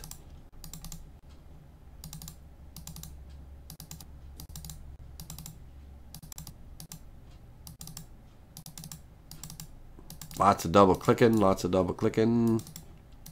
Trying to do this fast so we can get on to the next one. Uh, we're not doing too bad. It's only 8 o'clock, so, you know, uh, we're doing pretty good. We, we're going to have enough time for one more, and then we'll do some Q&A, because I don't want to go into 9 o'clock. Uh, I want to go 8.30 maximum, so we've got plenty of time to do one more. And there we go. So, not a bad looking, you know, monogram in itself, you know. And uh, but let's go back and let's let's uh, let's explore one thing. I'm gonna create a new layer. I'm gonna turn that layer off. I'm gonna create a new layer just because I want to be able to. I'm gonna take and draw a rectangle like we did before. I'm going to offset that rectangle inward a quarter of an inch like we did before. I'm going to take and while that rectangle selected, I'm going to type in chambers like we did before, keeping everything the same uh, with a stretch on the uh, vertical and I'm going to click apply. I'm going to come in here and I want to hold the shift key down. I want to scale this in a little bit and I want to stretch this out a little bit. Not much. I don't need that much overlap. So I'm going to zoom in. I'm watching this up here as my overlap. If I hold my shift key down, I know the bottom is going to be the same as the top. So just a very little amount of overlap there. All right. And yeah, looks good. All right. Now the question was, can we weld this? Well, the first thing we have to do in order to weld it is we need to convert the text to a curve. then we need to automatically group it back together. Immediately group it back together. Now if we select that object there in our rectangle and we hit the weld tool, let's see what will happen to our design. Bummer. I was hoping that would work. So no, weld is not an option. All right, let's undo that and let's see if we do a different selection. Let's select this first and then the weld, the rectangle and weld that together. No, because a weld tool removes everything from within a perimeter of a design. So we're going to undo that and we're going to come in and we're going to use the trim tool like we did before, selecting our rectangle first and then the chambers last because it is the boundary and we're going to clear everything inside the boundary. We're going to close that tool. Then we're going to select on the name chambers and the text and delete it. And then there we've got we've got our name. You know, so the weld tool will not be an option. Now, Glenn pops up and says select all. So he wants the outside rectangle as part of it as well. Okay, so do we want to group the two rectangles together, Glenn? Yes or no?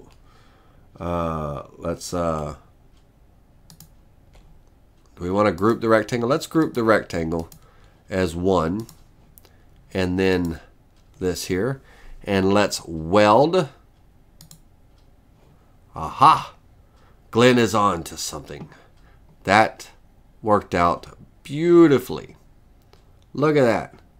That worked out very well. Glenn, awesome job, brother. You got it. Uh, that worked out very well. Very, very well. So let's let's recap quickly on what we did there. So we had our two rectangles. We had our text. We converted that text to a curve and then we grouped it back together. We selected the two rectangles and grouped that together as one object. And now we are welding this object with this object. And when we click the weld tool, Bob is your uncle. There we go. Nice work. Boom, boom, boom is right. Glenn, very nice job. Good call on that. So there are now, again, as I said, there's more than one way to skin a cat. And Glenn just pointed out there's a second way to achieve this. Let's turn off layer three. This design here. One, using the trim tool. Two, welding. We just have to make sure that we have both of the rectangles selected and grouped together.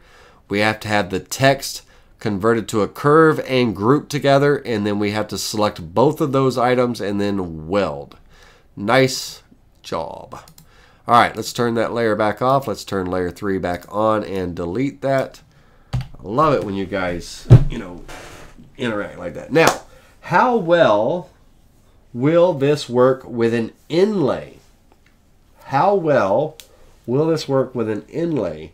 Um, Ronald, I'm assuming it would work very well with an inlay, depending on what you're wanting to do. You know, we could we could do a you know a monogram type inlay where everything is inlaid. Absolutely, because you're creating an inlay pocket, and you're creating a uh, you know an inlay male part, you know that you're cutting out, and you're fitting the two together.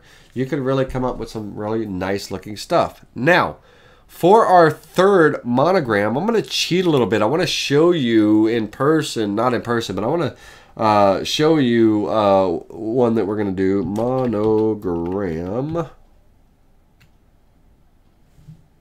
And I'm going to type in CNC monogram.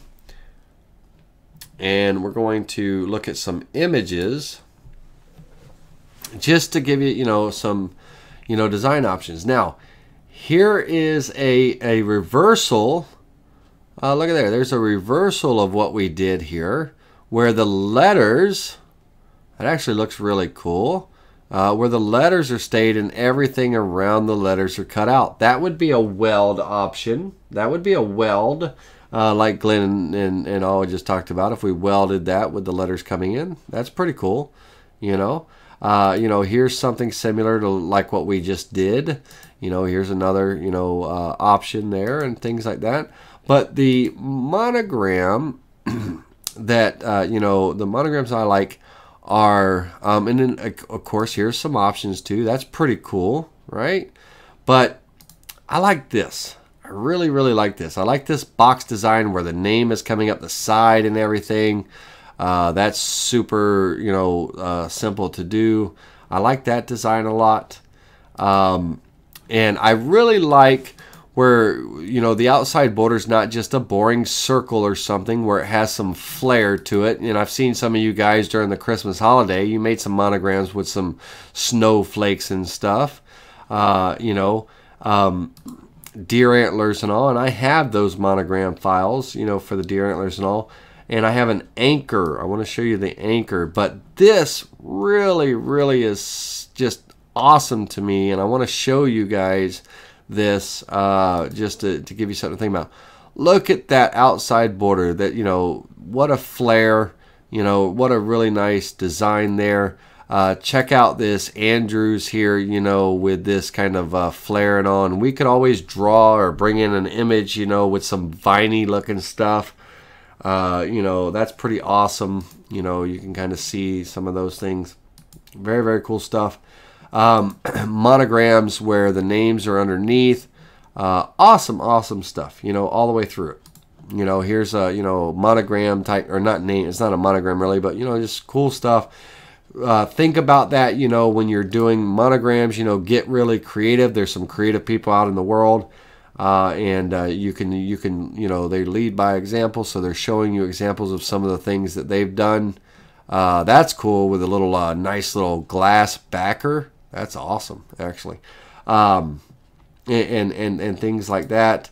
Uh, this is kind of what you know I was going for here with uh, that first design. Nicely done, young lady. Um, so, you know, when it comes to the monograms, you know, some really, really cool stuff. Now, um, you know, also uh, thinking outside the box, I really I thought I thought this was pretty cool too. You know, uh, it could be a, you know it would have to have a backer with some color in it and all you know to make it pop and stuff. But get decorative with your borders. You know, they don't have to be just a plain Jane old circle. You know, get decorative with your borders or just you know plain old monograms and things, all kinds of stuff. But I want to I want to go back to our Vectric and I want to open up an existing file that I've got. So I'm going to click on open and I want to go to an existing file and I want to go to my um, where do I want to go? I want to go to my documents and I want to go to bum bum bum is it under digital store uh, no, it's not under digital store. Where is it at? Digital woodcarver cells. CNC files. Nope, that's not it. Sorry, guys. We'll get there. Hold on a second. Boom, boom, boom.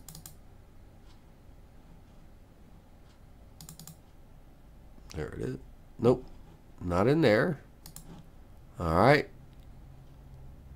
We're going to open Sesame and pictures. I'm gonna. I know it's on my flash drive, so give me two seconds to plug that thing in. Uh, it is plugged in. Oh, I love that. I was prepared for this. Okay, so let's come over here and let's find our uh, anchor, that's what I'm looking for. So, oh, oh. no, I don't want to save changes to that. I'll create some files for you guys. All right, so here's a pretty cool little uh, basic, simple anchor design. Um, you know, you can get a little more creative with your, your monogram or what have you, but, uh, you know, when you have those vine monograms, your border can be anything that you want. Now, if you notice here, what the key thing about showing you this is every single um, let's pop over here. Nope that's not the right monogram file you booger. All right well um, that's the wrong file. Let's go open. Where, oh, where are you hiding?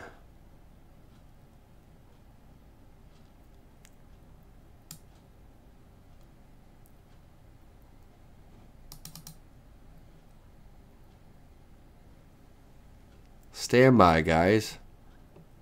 I have seemed to have misplaced. Well, where in the hell are my files? yeah. You don't know, right? You don't know where they are, do you? All right, open. Da da da da da. Documents. Digital wood carver sells digital store. Oh my gosh. Oh, I'm an idiot. Public. C uh, C drive. Thank you very much, Laney, for reminding yourself.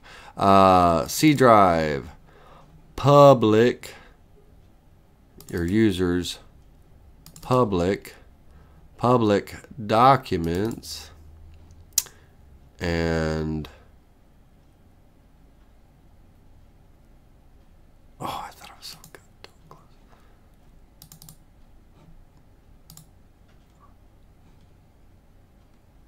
Well, shoot, guys and girls.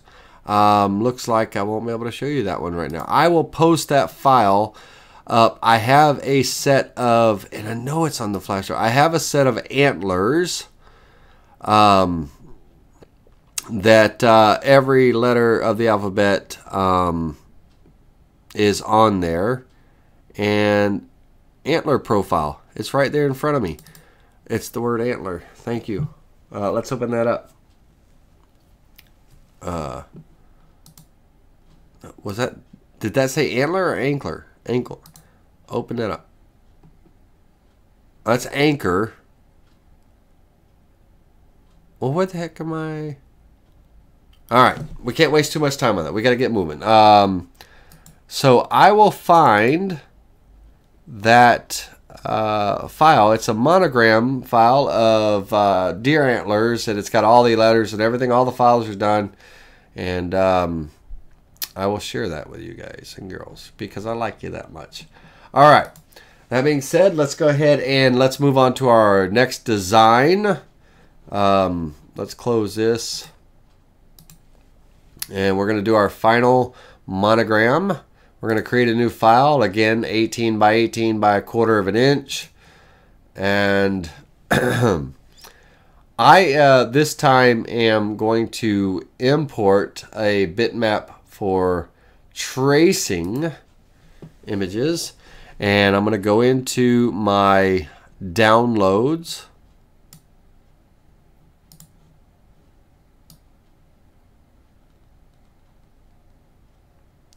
not into my downloads. I'm going to go.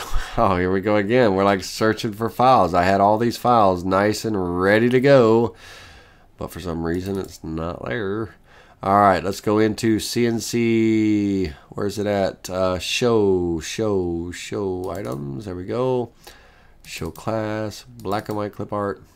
Oh, I keep forgetting I'm on my home, my office computer. Uh, camera roll, black and white clip art. There we go. This is the this is the folder I was looking for. All right, so let's go into our black and white clip art. Colored clip art works as well, uh, and and things like that. But you know, here um, we have uh, you know all different kind of things we can do, and the one uh, thing that I wanted to do was kind of a a tribal monogram type design. I like the tribal designs and things. Um, so uh, let's see which which of the two tribals I want to use. I want to use this one. All right. Now I'm going to zoom into that. I'm going to open up my trace bitmap tool and I'm going to convert this to a black and white. And I'm going to fill that in right about there. I could probably draw that a little bit better. Always use a high quality image, uh, but this will work for what its purpose is. And I'm going to click apply and close. I'm going to get rid of that picture and then I'm going to ungroup this and delete that. Now, with this, I'm going to go ahead and size it up. Uh, I'm going to double click on it. Let's center everything up so I can see what's going on here. And I'm going to hold down my shift key and grab this and just scale it so I can uh, come in and move it down somewhere right about here. And then I'm going to draw a line. I'm going to draw a line uh, snapping from this point to this point here. And with that line, I'm going to take this entire object, except for the line, and I'm going to group it together. And then I'm going to, with that group together, I'm going to select the line, and I'm going to open the mirror tool. Okay, mirror selected objects. And the reason why I drew that line is because well, now that I have this line in here, I have a option that pops up. You know, if that line was not selected, this is grayed out, flip about line. But if I now that I have this line in here, I can flip that about that line. Okay? And I'm just basically creating a mirror copy, flipping it about that line. And now I've got that, I can delete this line. And I'm going to take this object and I'm going to just literally I'm down arrow, down left arrow, I'm just kind of just moving it down.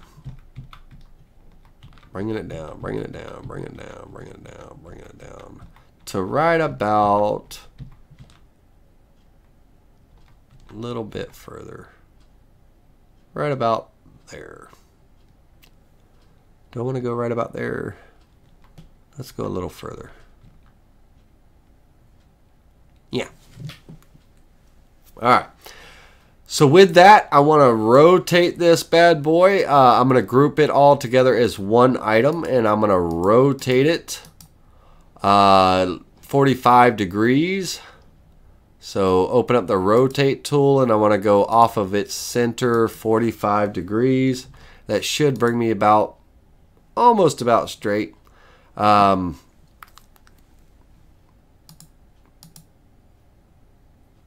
trying to figure out which way. I want to go up and down like this here. And I, since uh, the I'm a little cockeyed, I'm just going to freehand off the center. I'm just going to pull it to the right and just straighten it out. There we go. All right, now I need to trim. I need to do some cleanup and trimming and everything. So I'm going to use my interactive trim tool and I'm going to uh, trim away. Oh, I got to ungroup everything first. Sorry, ungroup and ungroup again. I'm going to use my interactive trim tool and I'm going to trim away this line, this line, this line, and this line to blend that together. Uh, I'll go ahead and trim away that line. This little rectangle, I can, I'll delete that in a minute. I won't let me trim that. Over here, I'm going to trim away this line, this line, this line, that line, and I don't necessarily need that V right there, so I'm going to go ahead and while I'm here, I'm going to select this and delete it. This, delete it. I'm going to open up node editing. I'm going to click on this line right here. Uh, well, first I'm going to click on this line right here, and then I'm going to go into node editing. And I'm going to delete, with node editing, I'm going to delete that point and uh, pull that just into a V like that. All right, now I got to come up here with my interactive trim tool and trim away that overlap there. And I should be good with that. And now I need to delete these little squares. Now there's a few more of those little squares, little noise I don't want. And I can use my interactive trim tool Again, I am going to delete these lines there. I'm going to delete that line there to bring open that up to it. Delete this line or trim, should I say? I keep saying delete, but and then I want to trim one, two, three, four lines and just making all of this one vector. So now, and I got, oops, I got one more little guy right there that I want to get rid of. And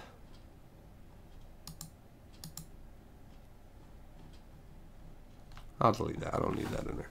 All right. Let's see, is there another one? Yeah, this one. I'll make it match. Okay. Now, uh, with this, I will, since I did some trimming and stuff, I will right click and select all open vectors. There are no open vectors in the design. Very good and all. And I'm going to go in and import my monogram. So we'll go back to our monogram files.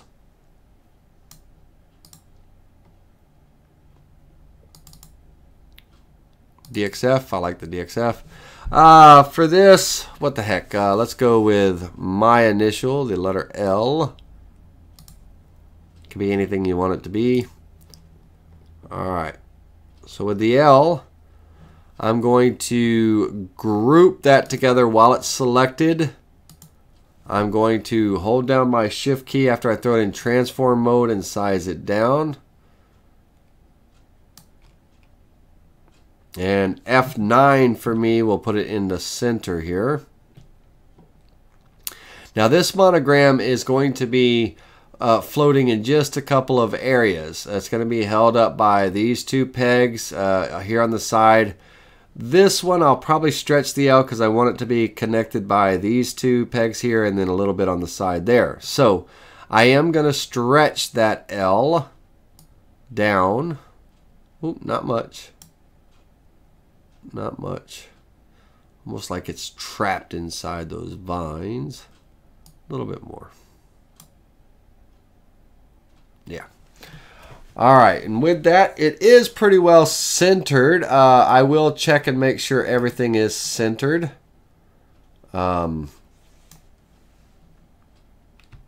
let me group this uh, tribal back together, group.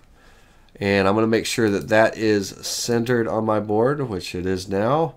I'll take this and make sure that's centered, which it is now. And now I can go ahead and ungroup everything so I can interactively trim. And so for this, um, I need to kind of, uh, you know, connect this stuff together. And there's some things that we have to, you know, we've got this tribal band, but it's not, it's not one piece. All these pieces are kind of floating around and all. So we need to do some extend and trim, extend and trim and all to, so there's a little bit of cleanup. And probably picked the, the last design to be the hardest and all. But uh, let's go ahead and do some trimming. So we're going to trim away this line, this line, this line, this line. This line, this line, this line. Uh, I can just get rid of all of this because it's going to be hidden behind the L anyway. And then we're going to join that together. Come over here and uh, we'll get rid of these spikes since they're hidden by the L there.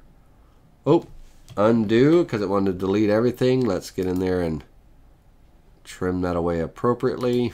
Oh, oh means, oh, it's wanting to get rid of the wrong line.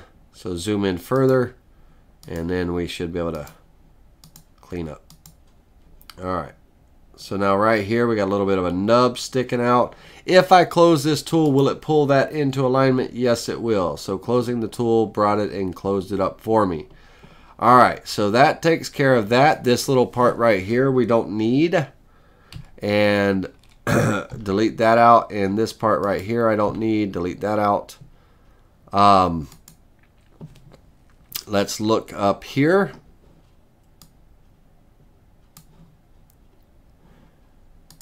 And we'll get rid of this line and this line. Oh, whoop, oh, oh. Zoom in. Oh, one more time. Let's get rid of this little overhang right here. Now let's get rid of this line. Oh, you bugger. Sometimes you got to zoom in. Sometimes, uh, you know, uh, things want to go away that don't need to be going away. There we go.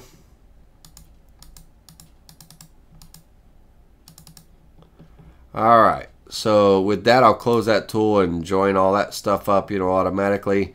And then last but not, well, not last but not least, but, you know, we'll come in here and delete, not delete, but trim this line. Oh, come on now.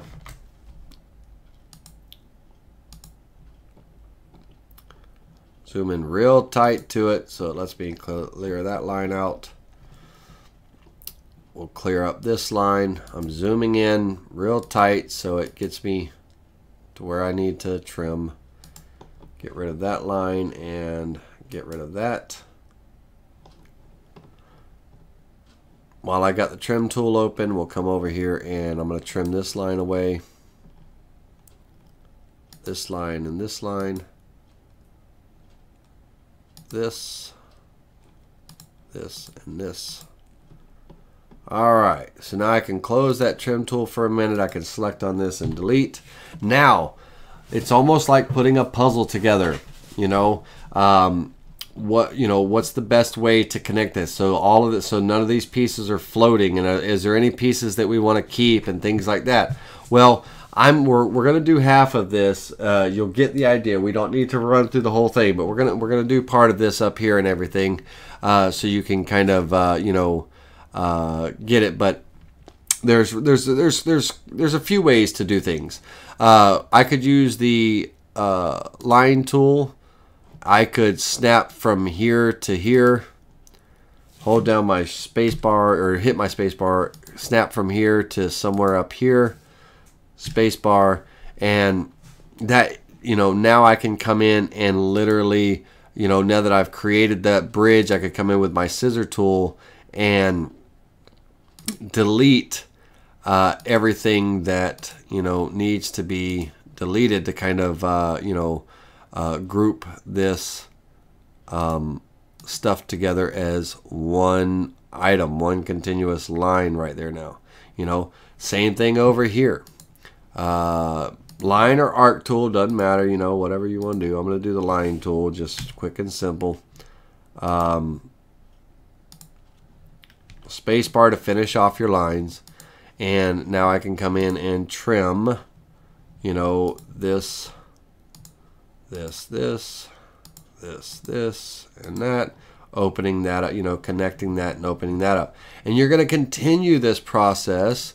You, you could do all your lines and everything and then come back and trim, but it kind of gets, you know, especially a design like this, it gets a little, uh, you know, um, confusing as to where those lines were and what needs to be trimmed and don't. So I kind of just draw and then trim. And I actually drew that line a little backwards or a little long. So trim, and I'm going to zoom in here and I'm going to get rid of that line. Trim that away, this away, this away, this away, this away, and this away. You know, and now that makes that one continuous piece. So now all of this is connected together. Okay. Um, again, you know, keeping keeping uh, things going. Uh, line tool. I'm just just, and this is what the great thing about smart snapping is. I can just snap to certain points no there's no rhyme or reason where I'm snapping to. I'm just kind of you know creating a process uh, so that way I can come in and blend these guys together. You know, so it's all, oh, there's a little nub right there. Oh, a little bit of an intersection right there. There we go. And it closed up for me when I close. Oh, undo, undo, undo. All right. So on this intersection right here, got a bit of an overlap going on.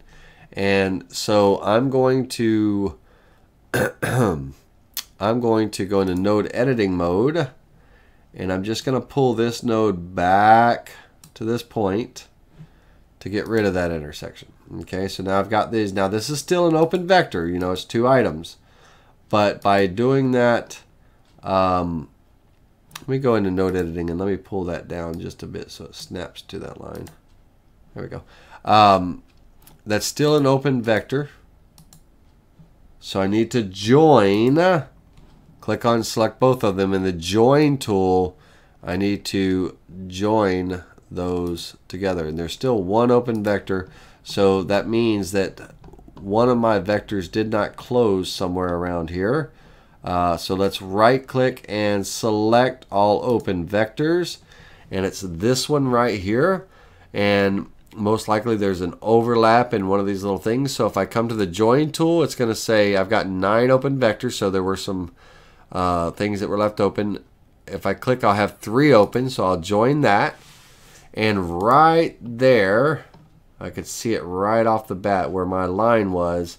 That was one of the open vectors and it couldn't rejoin. So I'm going to trim that line away and that should clean that up. So now if I select all open vectors let's zoom out and see what's open here.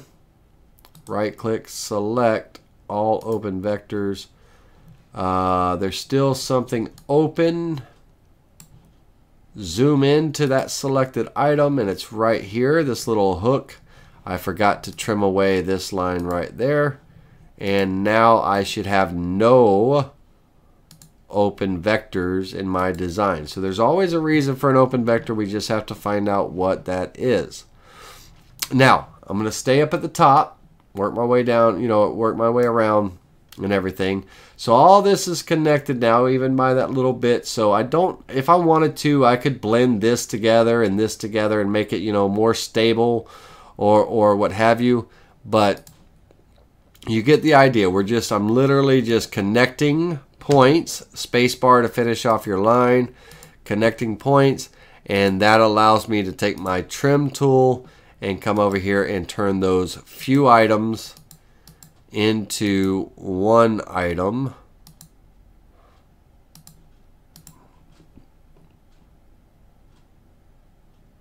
All right, this one will not trim most likely because it's an open, there's no, it's not intersecting anywhere, but I'll give it a shot. Oh yeah, it did. All right, and then pull that together. So now that's one open, or you know, one continuous piece. And so you get the idea. Um, once all of these, you know, but the whole point of this is, and I'll finish this one up and I'll share a picture on Facebook of, uh, you know, what the preview looks like and stuff. But the whole point of this is, is you can go creative with your boundaries.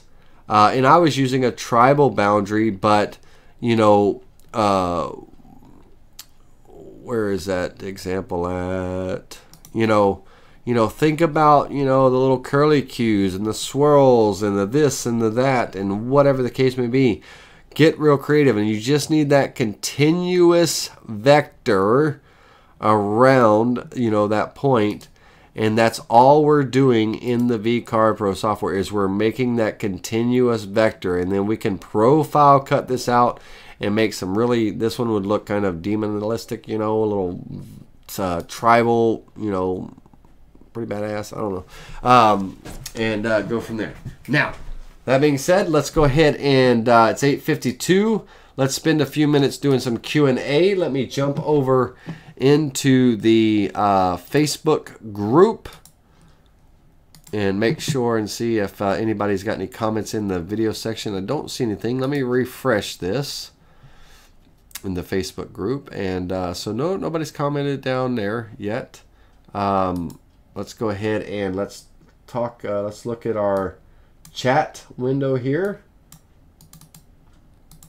And uh, the floor is open for questions. Any questions? Let me know.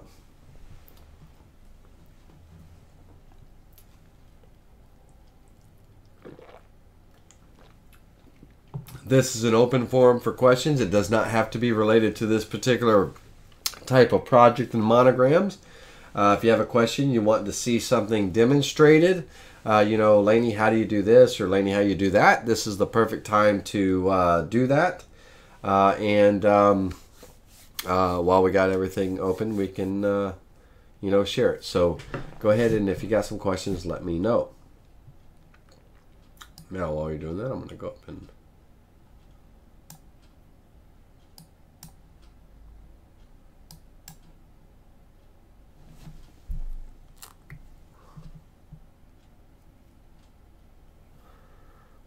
Well, you guys are an easy crowd tonight. You guys are an easy crowd tonight.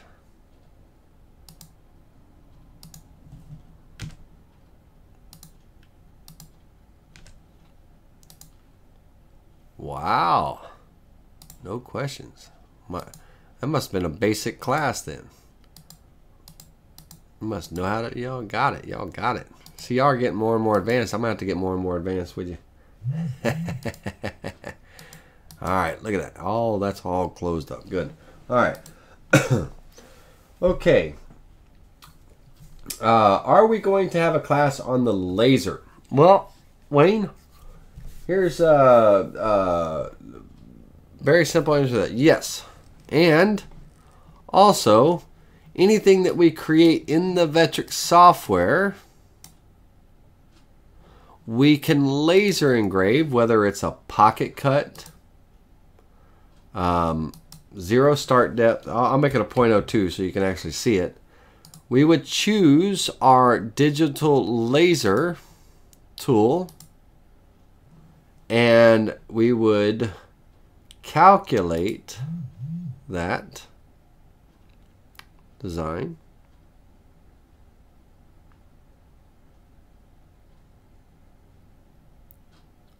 And we could preview that selected cut. And if I add a little bit of laser burn color to it, you know, you've got a laser etching. So everything you do in the software, creating your projects, your your your designs, any of your designs, any of your designs can be laser cut. Um, and so you just have to make sure that you use the laser tool. Uh, typically, we do not want the z-axis moving up and down, so your cut depth will be zero. Okay, your you will edit the digital laser and your power, your spindle speed, is your laser power. 0 to 10. Okay, 10 being the highest maximum power. And so right now I have a power of 8, meaning I'm to, you know, engrave pretty decent depth, you know, with this. But I could I could back this down to 6, 5, you know, go up to 10, depending on what I'm doing with. Uh, so the spindle speed is your power with your laser and you will adjust that appropriately and that's by clicking the edit button for your laser tool for your tool when you when you choose your digital laser tool your edit button you'll change your power depending on how much burning how deep and how you know you want to do now from there we don't want we're going to set the z-axis where the laser is two inches above the material so we do not want it moving from that. When we zero that laser out two inches above the material, we don't want it moving up and down and things. So we will set the cut depth to zero. Okay? Cut depth to zero when we calculate this toolpath. Now, when I calculate this toolpath with the cut depth to zero, if I tried to preview it, it won't show anything. It will not show anything. And um, you know, if I tried to, you know, preview this toolpath now, uh, you'll have a blank board here because a cut depth of zero is a cut depth of zero. So if you want to preview what it would look like temporarily, be sure not to forget to go back and change this to zero, but make this 0.02 and hit calculate. Um, that way you can see it in the preview. Okay, but be sure to change that cut depth back to zero uh, when you calculate the toolpath to run because that is going to be the um, you know you don't want that z-axis moving up and down so we could very easily laser etch you know that in and that's just a simple profile we're removing material from within the perimeter of the design now if I were to laser this as a or a pocket cut I'm sorry was what we did but if I did a profile cut with the laser and again, I'm going to go 0.02. Uh, I'm going to choose my laser tool. And I want to be on the line, on the line. And I'm going to calculate this. If I reset the preview and preview that selected toolpath, you know, it would look like that. And let's add some color so you can see where those lines are getting burnt. You know, so it would be just laser etching or engraving the outside of the line. You know, it's not cutting out the inside area. So we're just doing a profile with it. Okay, so a profile or a pocket, or you could use the engraving tool, quick engraving tool, outline, or fill, either one. Uh, but the profile and the pocket uh, tend to work better uh, I've discovered. So that's you know, but yeah, we'll do a class on the laser. But the class isn't the, there's nothing different. We're just creating a design, and it's when we calculate the tool path, we're using the laser tool. So um, you know, but it, it, it's it's it's nothing you know different. All right, so now the um, next question. Uh, did they say the new touch off block directions will be explained? Yes, I will be explaining the new touch off direction block directions uh, in a video. Uh, not a live video, but I'm going to be making a video going all through different ways of using the XY, uh, the DWC Quick Set tool, and um, uh, I will uh, I will release that video here very very shortly, like a day or two or so. I'm going to try to get it done uh, so that you can see how to set up the tool, how to attach the tool to your, your machine, how to set it up in the controller software, and how to use it. What options in the controller software you use for that touch off. Uh, so, yes, I will be explaining that, uh, Peter. Um, do you have the files yet for the MK3 board?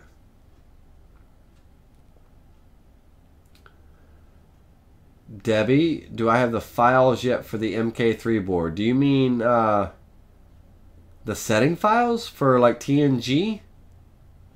Um, we have for the 2440 MK3 4, uh, MK3, MK3 4. Uh, we have those. Um, that that setting file is in the Facebook group, but there are the the setting files for the fourth axis or for the mini carver are not posted yet for those setting files. Is that what you're referring to? Uh, those so, so, that setting file, if we look at the Facebook group, we'll come back over into the Facebook group to the file section. In the file section of um, Bob, you'll have to set up an account. Um, and uh, you know you'll be able to post in there. But can you join vectors and then mirror them? Yes, yes, you can. Um, depending on how you're wanting to do that, Bob. But let's go real quick. The DWC TNG, let me minimize Bob's question for a moment. The DWC TNG setting file for the digital woodcarver 2440 unit is right here um, in the uh, software. There's also a download and install setup instructions for TNG. Uh, and um, then there is also the PDF for the TNG. I have not yet posted the setting files for fourth axis or for the mini carver. Okay, I've not yet set the files for those yet. Now, Bob, back to your question. Uh, can you join the vectors and then mirror them? Well, if I joined, uh, yes. Uh, so Bob's question is, is rather than mirroring this, mirroring this and then going through and joining all the vectors. Since it was already half of it, could I have went through and joined all of those vectors on that half and then mirrored it over so I only had to do it, you know, on one half of the design? Absolutely. Yes, that would have been a quick and easy way to do it for sure. Yes, sir. Uh, you can do that. All right, let's see here. Um, let's see here. Can you weld this one? Can you weld this one? No, Jared, we can't weld this one because the lines are not overlapping. Okay? If there was some overlap in the design, then yes, we would be able to weld it together. Uh, but there is no overlap in there. Okay? Now, um, if I took and went into node editing mode and I grabbed these nodes here and here and here. And I use my down arrow key and, you know, overlapped that line there. And if I go into my node editing here and I grab these nodes here, and I use my up arrow key and over and just get it to overlap, you know, there, then I could take this guy, let's get out of node editing mode, this guy, this guy, and my L's part of all that too. Uh, and I could weld that together and it would weld that together. So you can do that, but uh, we got to get those overlaps in there. So that's, in, in a sense, I'm basically just drawing those lines and everything and then doing the trimming. So, um, either way. Um, Joe CB asked this question at the show, and, uh, you know, how do you reverse a flute? Well, Joe, that question is a tough one because you can't reverse a flute to where it goes up and over. Joe, just uh, if I can explain so everybody knows what uh, old Joe is talking about here. Um, let me turn off these layers for a minute and hide everything. I'm going to create a new layer and I'm going to draw an arc. I'm going to pretend that uh, they got to be there.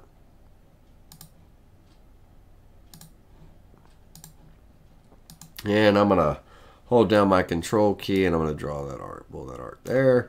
And then I'm going to hold down my shift key and I'm going to join those with two curves. All right. So imagine this piece here. This is the back of a chair and um, we're looking at it from the top down. We're looking at it from the top down. This is the front of the chair. This is the back of the chair. Okay, the curve and everything. Now, on the front side, when this board is flipped over and everything, you know, we can run a, a fluting toolpath, and he's doing some decorative fluting and everything in there. But when this gets flipped over, when this gets flipped over, how do we create a fluting project to reverse the flute so it follows that arc? Unfortunately, in the fluting toolpath, these motions are down, down and in, down and in, down and in. Uh, there is no way to reverse it uh, to go up and over. So the only way that we can do that is to um, basically create a profile line and do a profile cut, you know, so that bit comes in and, and you know and, and cuts along that path but then that doesn't have that little nice little uh, you know smooth little and you know where that that ramp comes in and out of the project. Um, other option is is if you have the aspire software um, you can create a uh, model and you can project that tool path that fluting tool path onto a 3d model. That's what that is there. So you can draw a model of the design uh, uh, you, you, know, if you if you have any CAD software, you you know uh, that uh, does 3D modeling other than the Aspire, uh, you can create that and import it in and and all. But there is no way to reverse the flute process so that it goes up, you know, kind of arcs over instead of down, and um, you you can't uh, you can't um, go in um, you can't go down with it, Joe. And uh, when you asked that question at the show, uh, I didn't have there was a lot of people around. I didn't have a lot of time to answer you, but I did have time when I got back to the hotel to research it, to try it, to to try different workarounds and things like that. And unfortunately, uh, there was no way to reverse the flute. Okay, the only way to do it is to create the model and uh, project the toolpath onto a 3D model. Uh, the uh, or just do create a line profile depending on what a flute is a line that's it's just a groove that you're cutting in and but it has little in entry and out out you know sweeps and things and um, uh, unfortunately, you know, we don't have that option. Okay. Hopefully that answers your question, Joe. Um, all right. Now, um, all right. What is TNG and why or why not should we change to it? Okay, Glenn. Uh, TNG is stands for the next generation. It's the next generation of um, the CNC USB controller software. Uh, in the software, they've they've they've done a little a lot of bug fixes that that CNC USB controller has. Uh, they've uh, you know made things to where uh, you know it's a much smoother operation. You have a lot more controls in the back end. Uh, you know you have a lot more control of the back end. You can you can adjust speeds and things as it's running. Uh, you have a, you know there's there's there's a lot more flows. There's no downside to changing to TNG. Uh, as a matter of fact, we're going to encourage it uh, coming, you know, you know, in the near future that, that people change over. But you have to have the MK34 board in your control box. Okay, and um, the way to uh, determine if you have um, the MK34 board is to you have to open the board up and look at it. Uh, in some cases, on the license number, when you when you go trying to open up the CNC USB controller program now, this is not TNG. This is CNC USB controller, and I am not connected to a machine, so it will not show me a serial number. But but uh, there's at some point in under help activate license in the license box it'll show you your serial number and your serial number should say the number and then like MK34 or MK24 or MK3 it should the number should be after the serial number. That is not a surefire way of knowing if you have an MK2 or an MK3-4 board. Uh, the surefire way is to uh, open up the box and look at it. And uh, I'll show you a picture of the MK24 and 34 boards. And uh,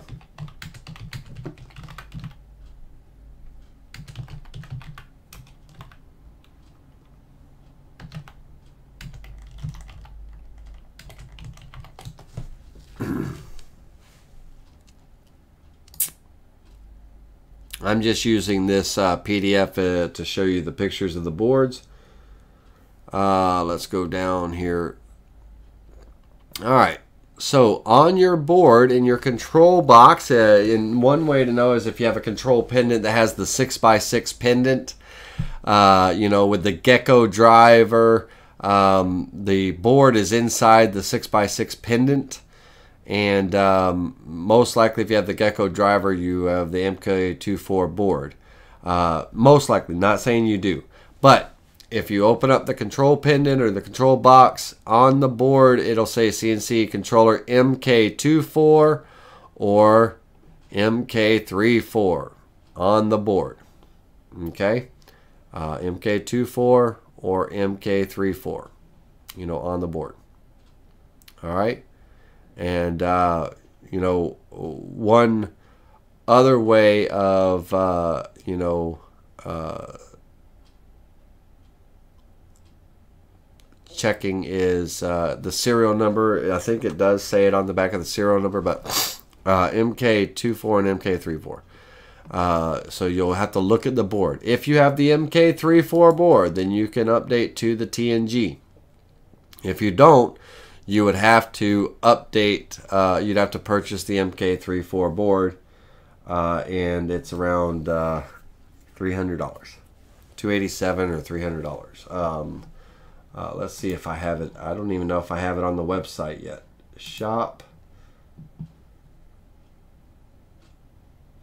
Replacement parts. Yeah, the MK34 board is not on the uh, website yet, but it's about $300. Now, that being said, that being said, do you have to update to TNG from CNC USB controller? No, you don't. No, you don't. Um, and uh, so you um, you don't have to uh, update.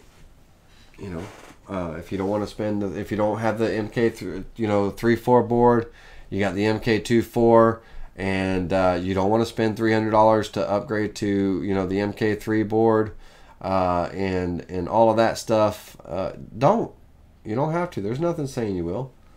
Um, the MK3 board will work. Um, MK3 board uh, is typically on our 4x8 machines. Uh, it's got an Ethernet and everything. Uh, you can buy the MK3 boards from us as well, but the MK3 board is a big. It's, it's that's a bad boy board. That that's that's a little more than three hundred dollars. It's like four hundred and something. Um, and uh, it's it's got Ethernet and USB and and you know it, you know uh, expansion ports and stuff like that.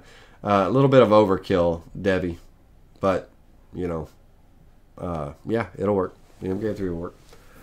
Um, the Mini Carver's MK3 Mini uh, works as well with TNG.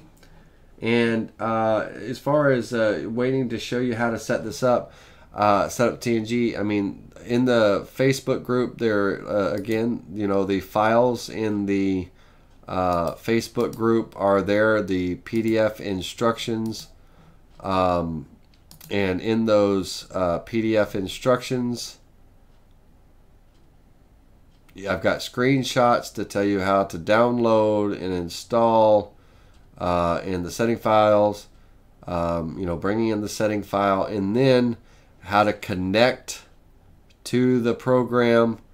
And then we have to go in and write the email, the email to Vectric and send it off to them with the controller number and everything, and then wait 24 hours to get an answer back. So, um, but there's you know there's a PDF there with instructions on the download and install of the TNG. Um, I will be creating videos uh, on this. I just haven't had the time to do it yet. Now, let's see here. Um, do we have to buy the new touch block? No, absolutely not, Antonio. Uh, you if you don't want to use it, you don't need it, you don't have to buy it. You know, we got a little uh, laser that's coming out, little uh, crosshair laser uh, attachment. Uh, you know, for finding center or you know help you know quick setup and all. Little crosshair laser. That's going to be about sixty nine ninety nine, uh, seventy bucks. Uh, that you know will be an attachment, and then you'll you'll be able to you have you have a choice of the uh, the edge finder or the laser or or using what you have now but you don't have to buy anything. These are just accessories.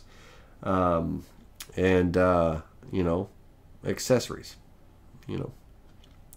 They're the they're it's a helpful accessory. I wouldn't have come up with it if it wasn't but uh, but it's but nonetheless it's an accessory so no you do not have to buy the new touch block if you want it you do it's not free All right.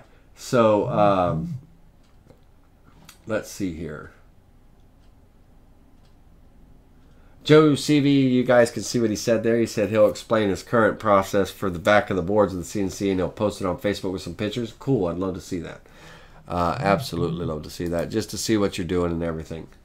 Um, Dave Garbett, uh, some of the touch blocks did ship out and the others will be shipping out this week.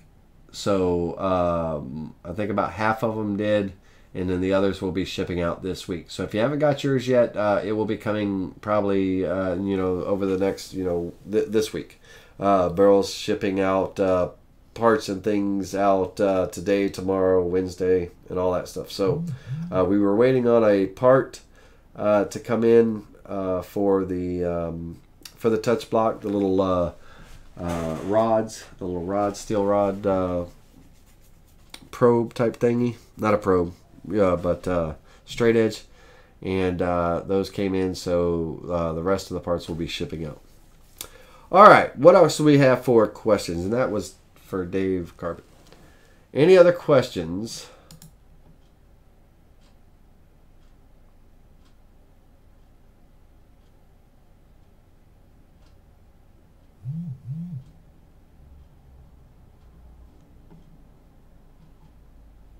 All right, let's look over on our Facebook group and uh, see if uh, Bob had any more. Oh, there's some right here. Okay, so does the DXF file with all the small lines affect the machine function, i.e. slow down because of the calculations? I noticed such an imported DWG file seems to get smoother. Uh, that notice using an imported DWG file seems to go smoother. Yeah, I mean the uh, you know you have nodes and everything uh, that are created, and those nodes are are points and and they're they're they're uh, point coordinate points and everything. So those coordinates get written into the G code. So excuse me.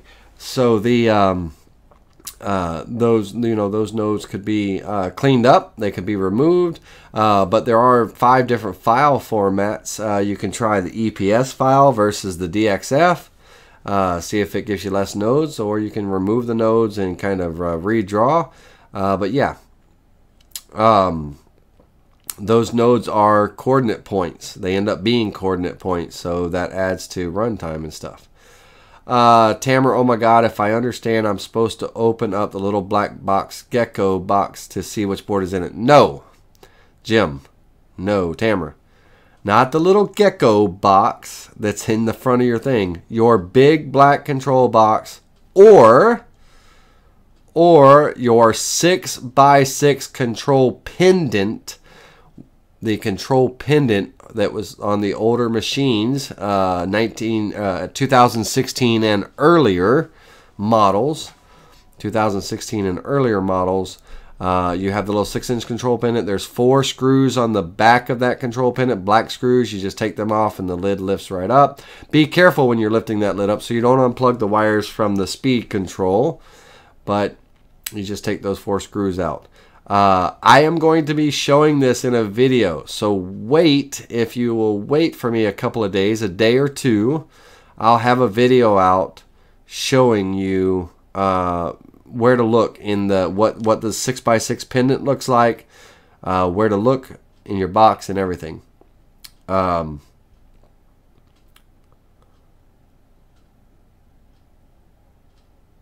let's see here. You've given up Coach though, so you can afford your DWC accessories. uh, can I get accessories for show pickup?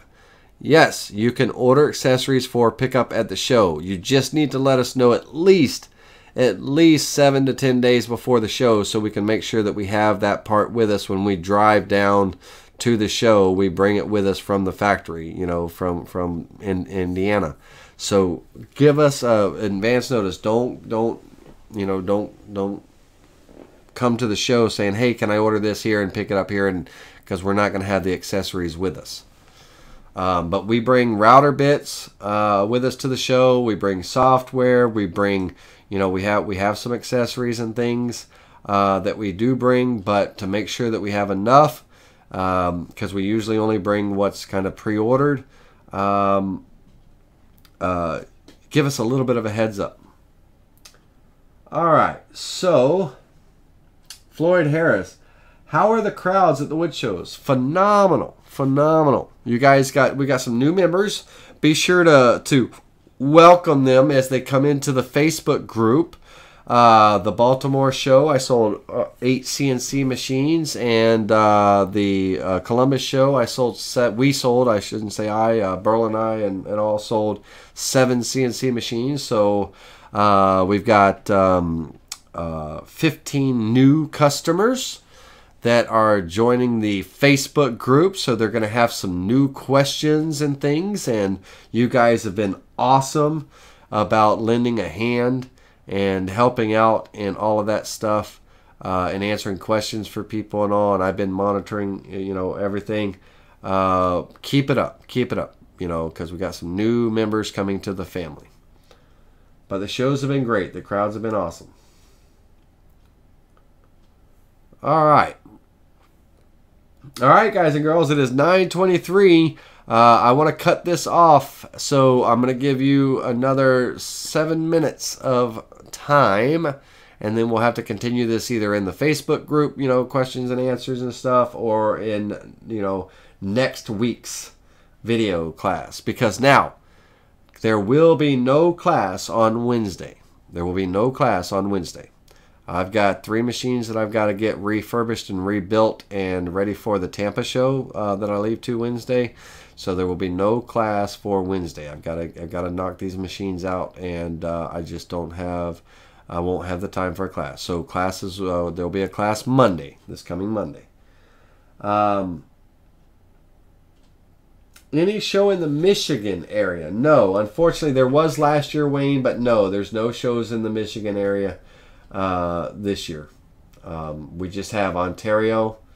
Uh, there's going to be a show in. Um, there's going to be a show in uh, Hamilton, Hamilton, Ontario, and then there's a show in Woodstock, Ontario. Um, and unfortunately, I will not be at those two shows this year. Uh, I'm not doing Canada this year, uh, but uh, you know they will be demoing and have the CNCs, the digital wood carvers and stuff at the show. You guys are very welcome. Thank you very much. Uh, you have a wonderful night. Uh, Bob, be sure to set up that face there, that YouTube uh, user account, so you can log into YouTube and um, uh, get on uh, those live questions and all. But this post, you know, it's fine. It comes right to the, you know, I treat it just the same as the post and everything. Um, be sure to have some fun with those monograms. Uh, I'll I'll create some uh, border styles and things that you can throw monograms into, and I'll send those files up on Facebook. I will then uh, come in and uh, add in the um, add in the uh, monogram files for you as well, and all of that. All right, ladies and gentlemen, till next time. I'll see you soon.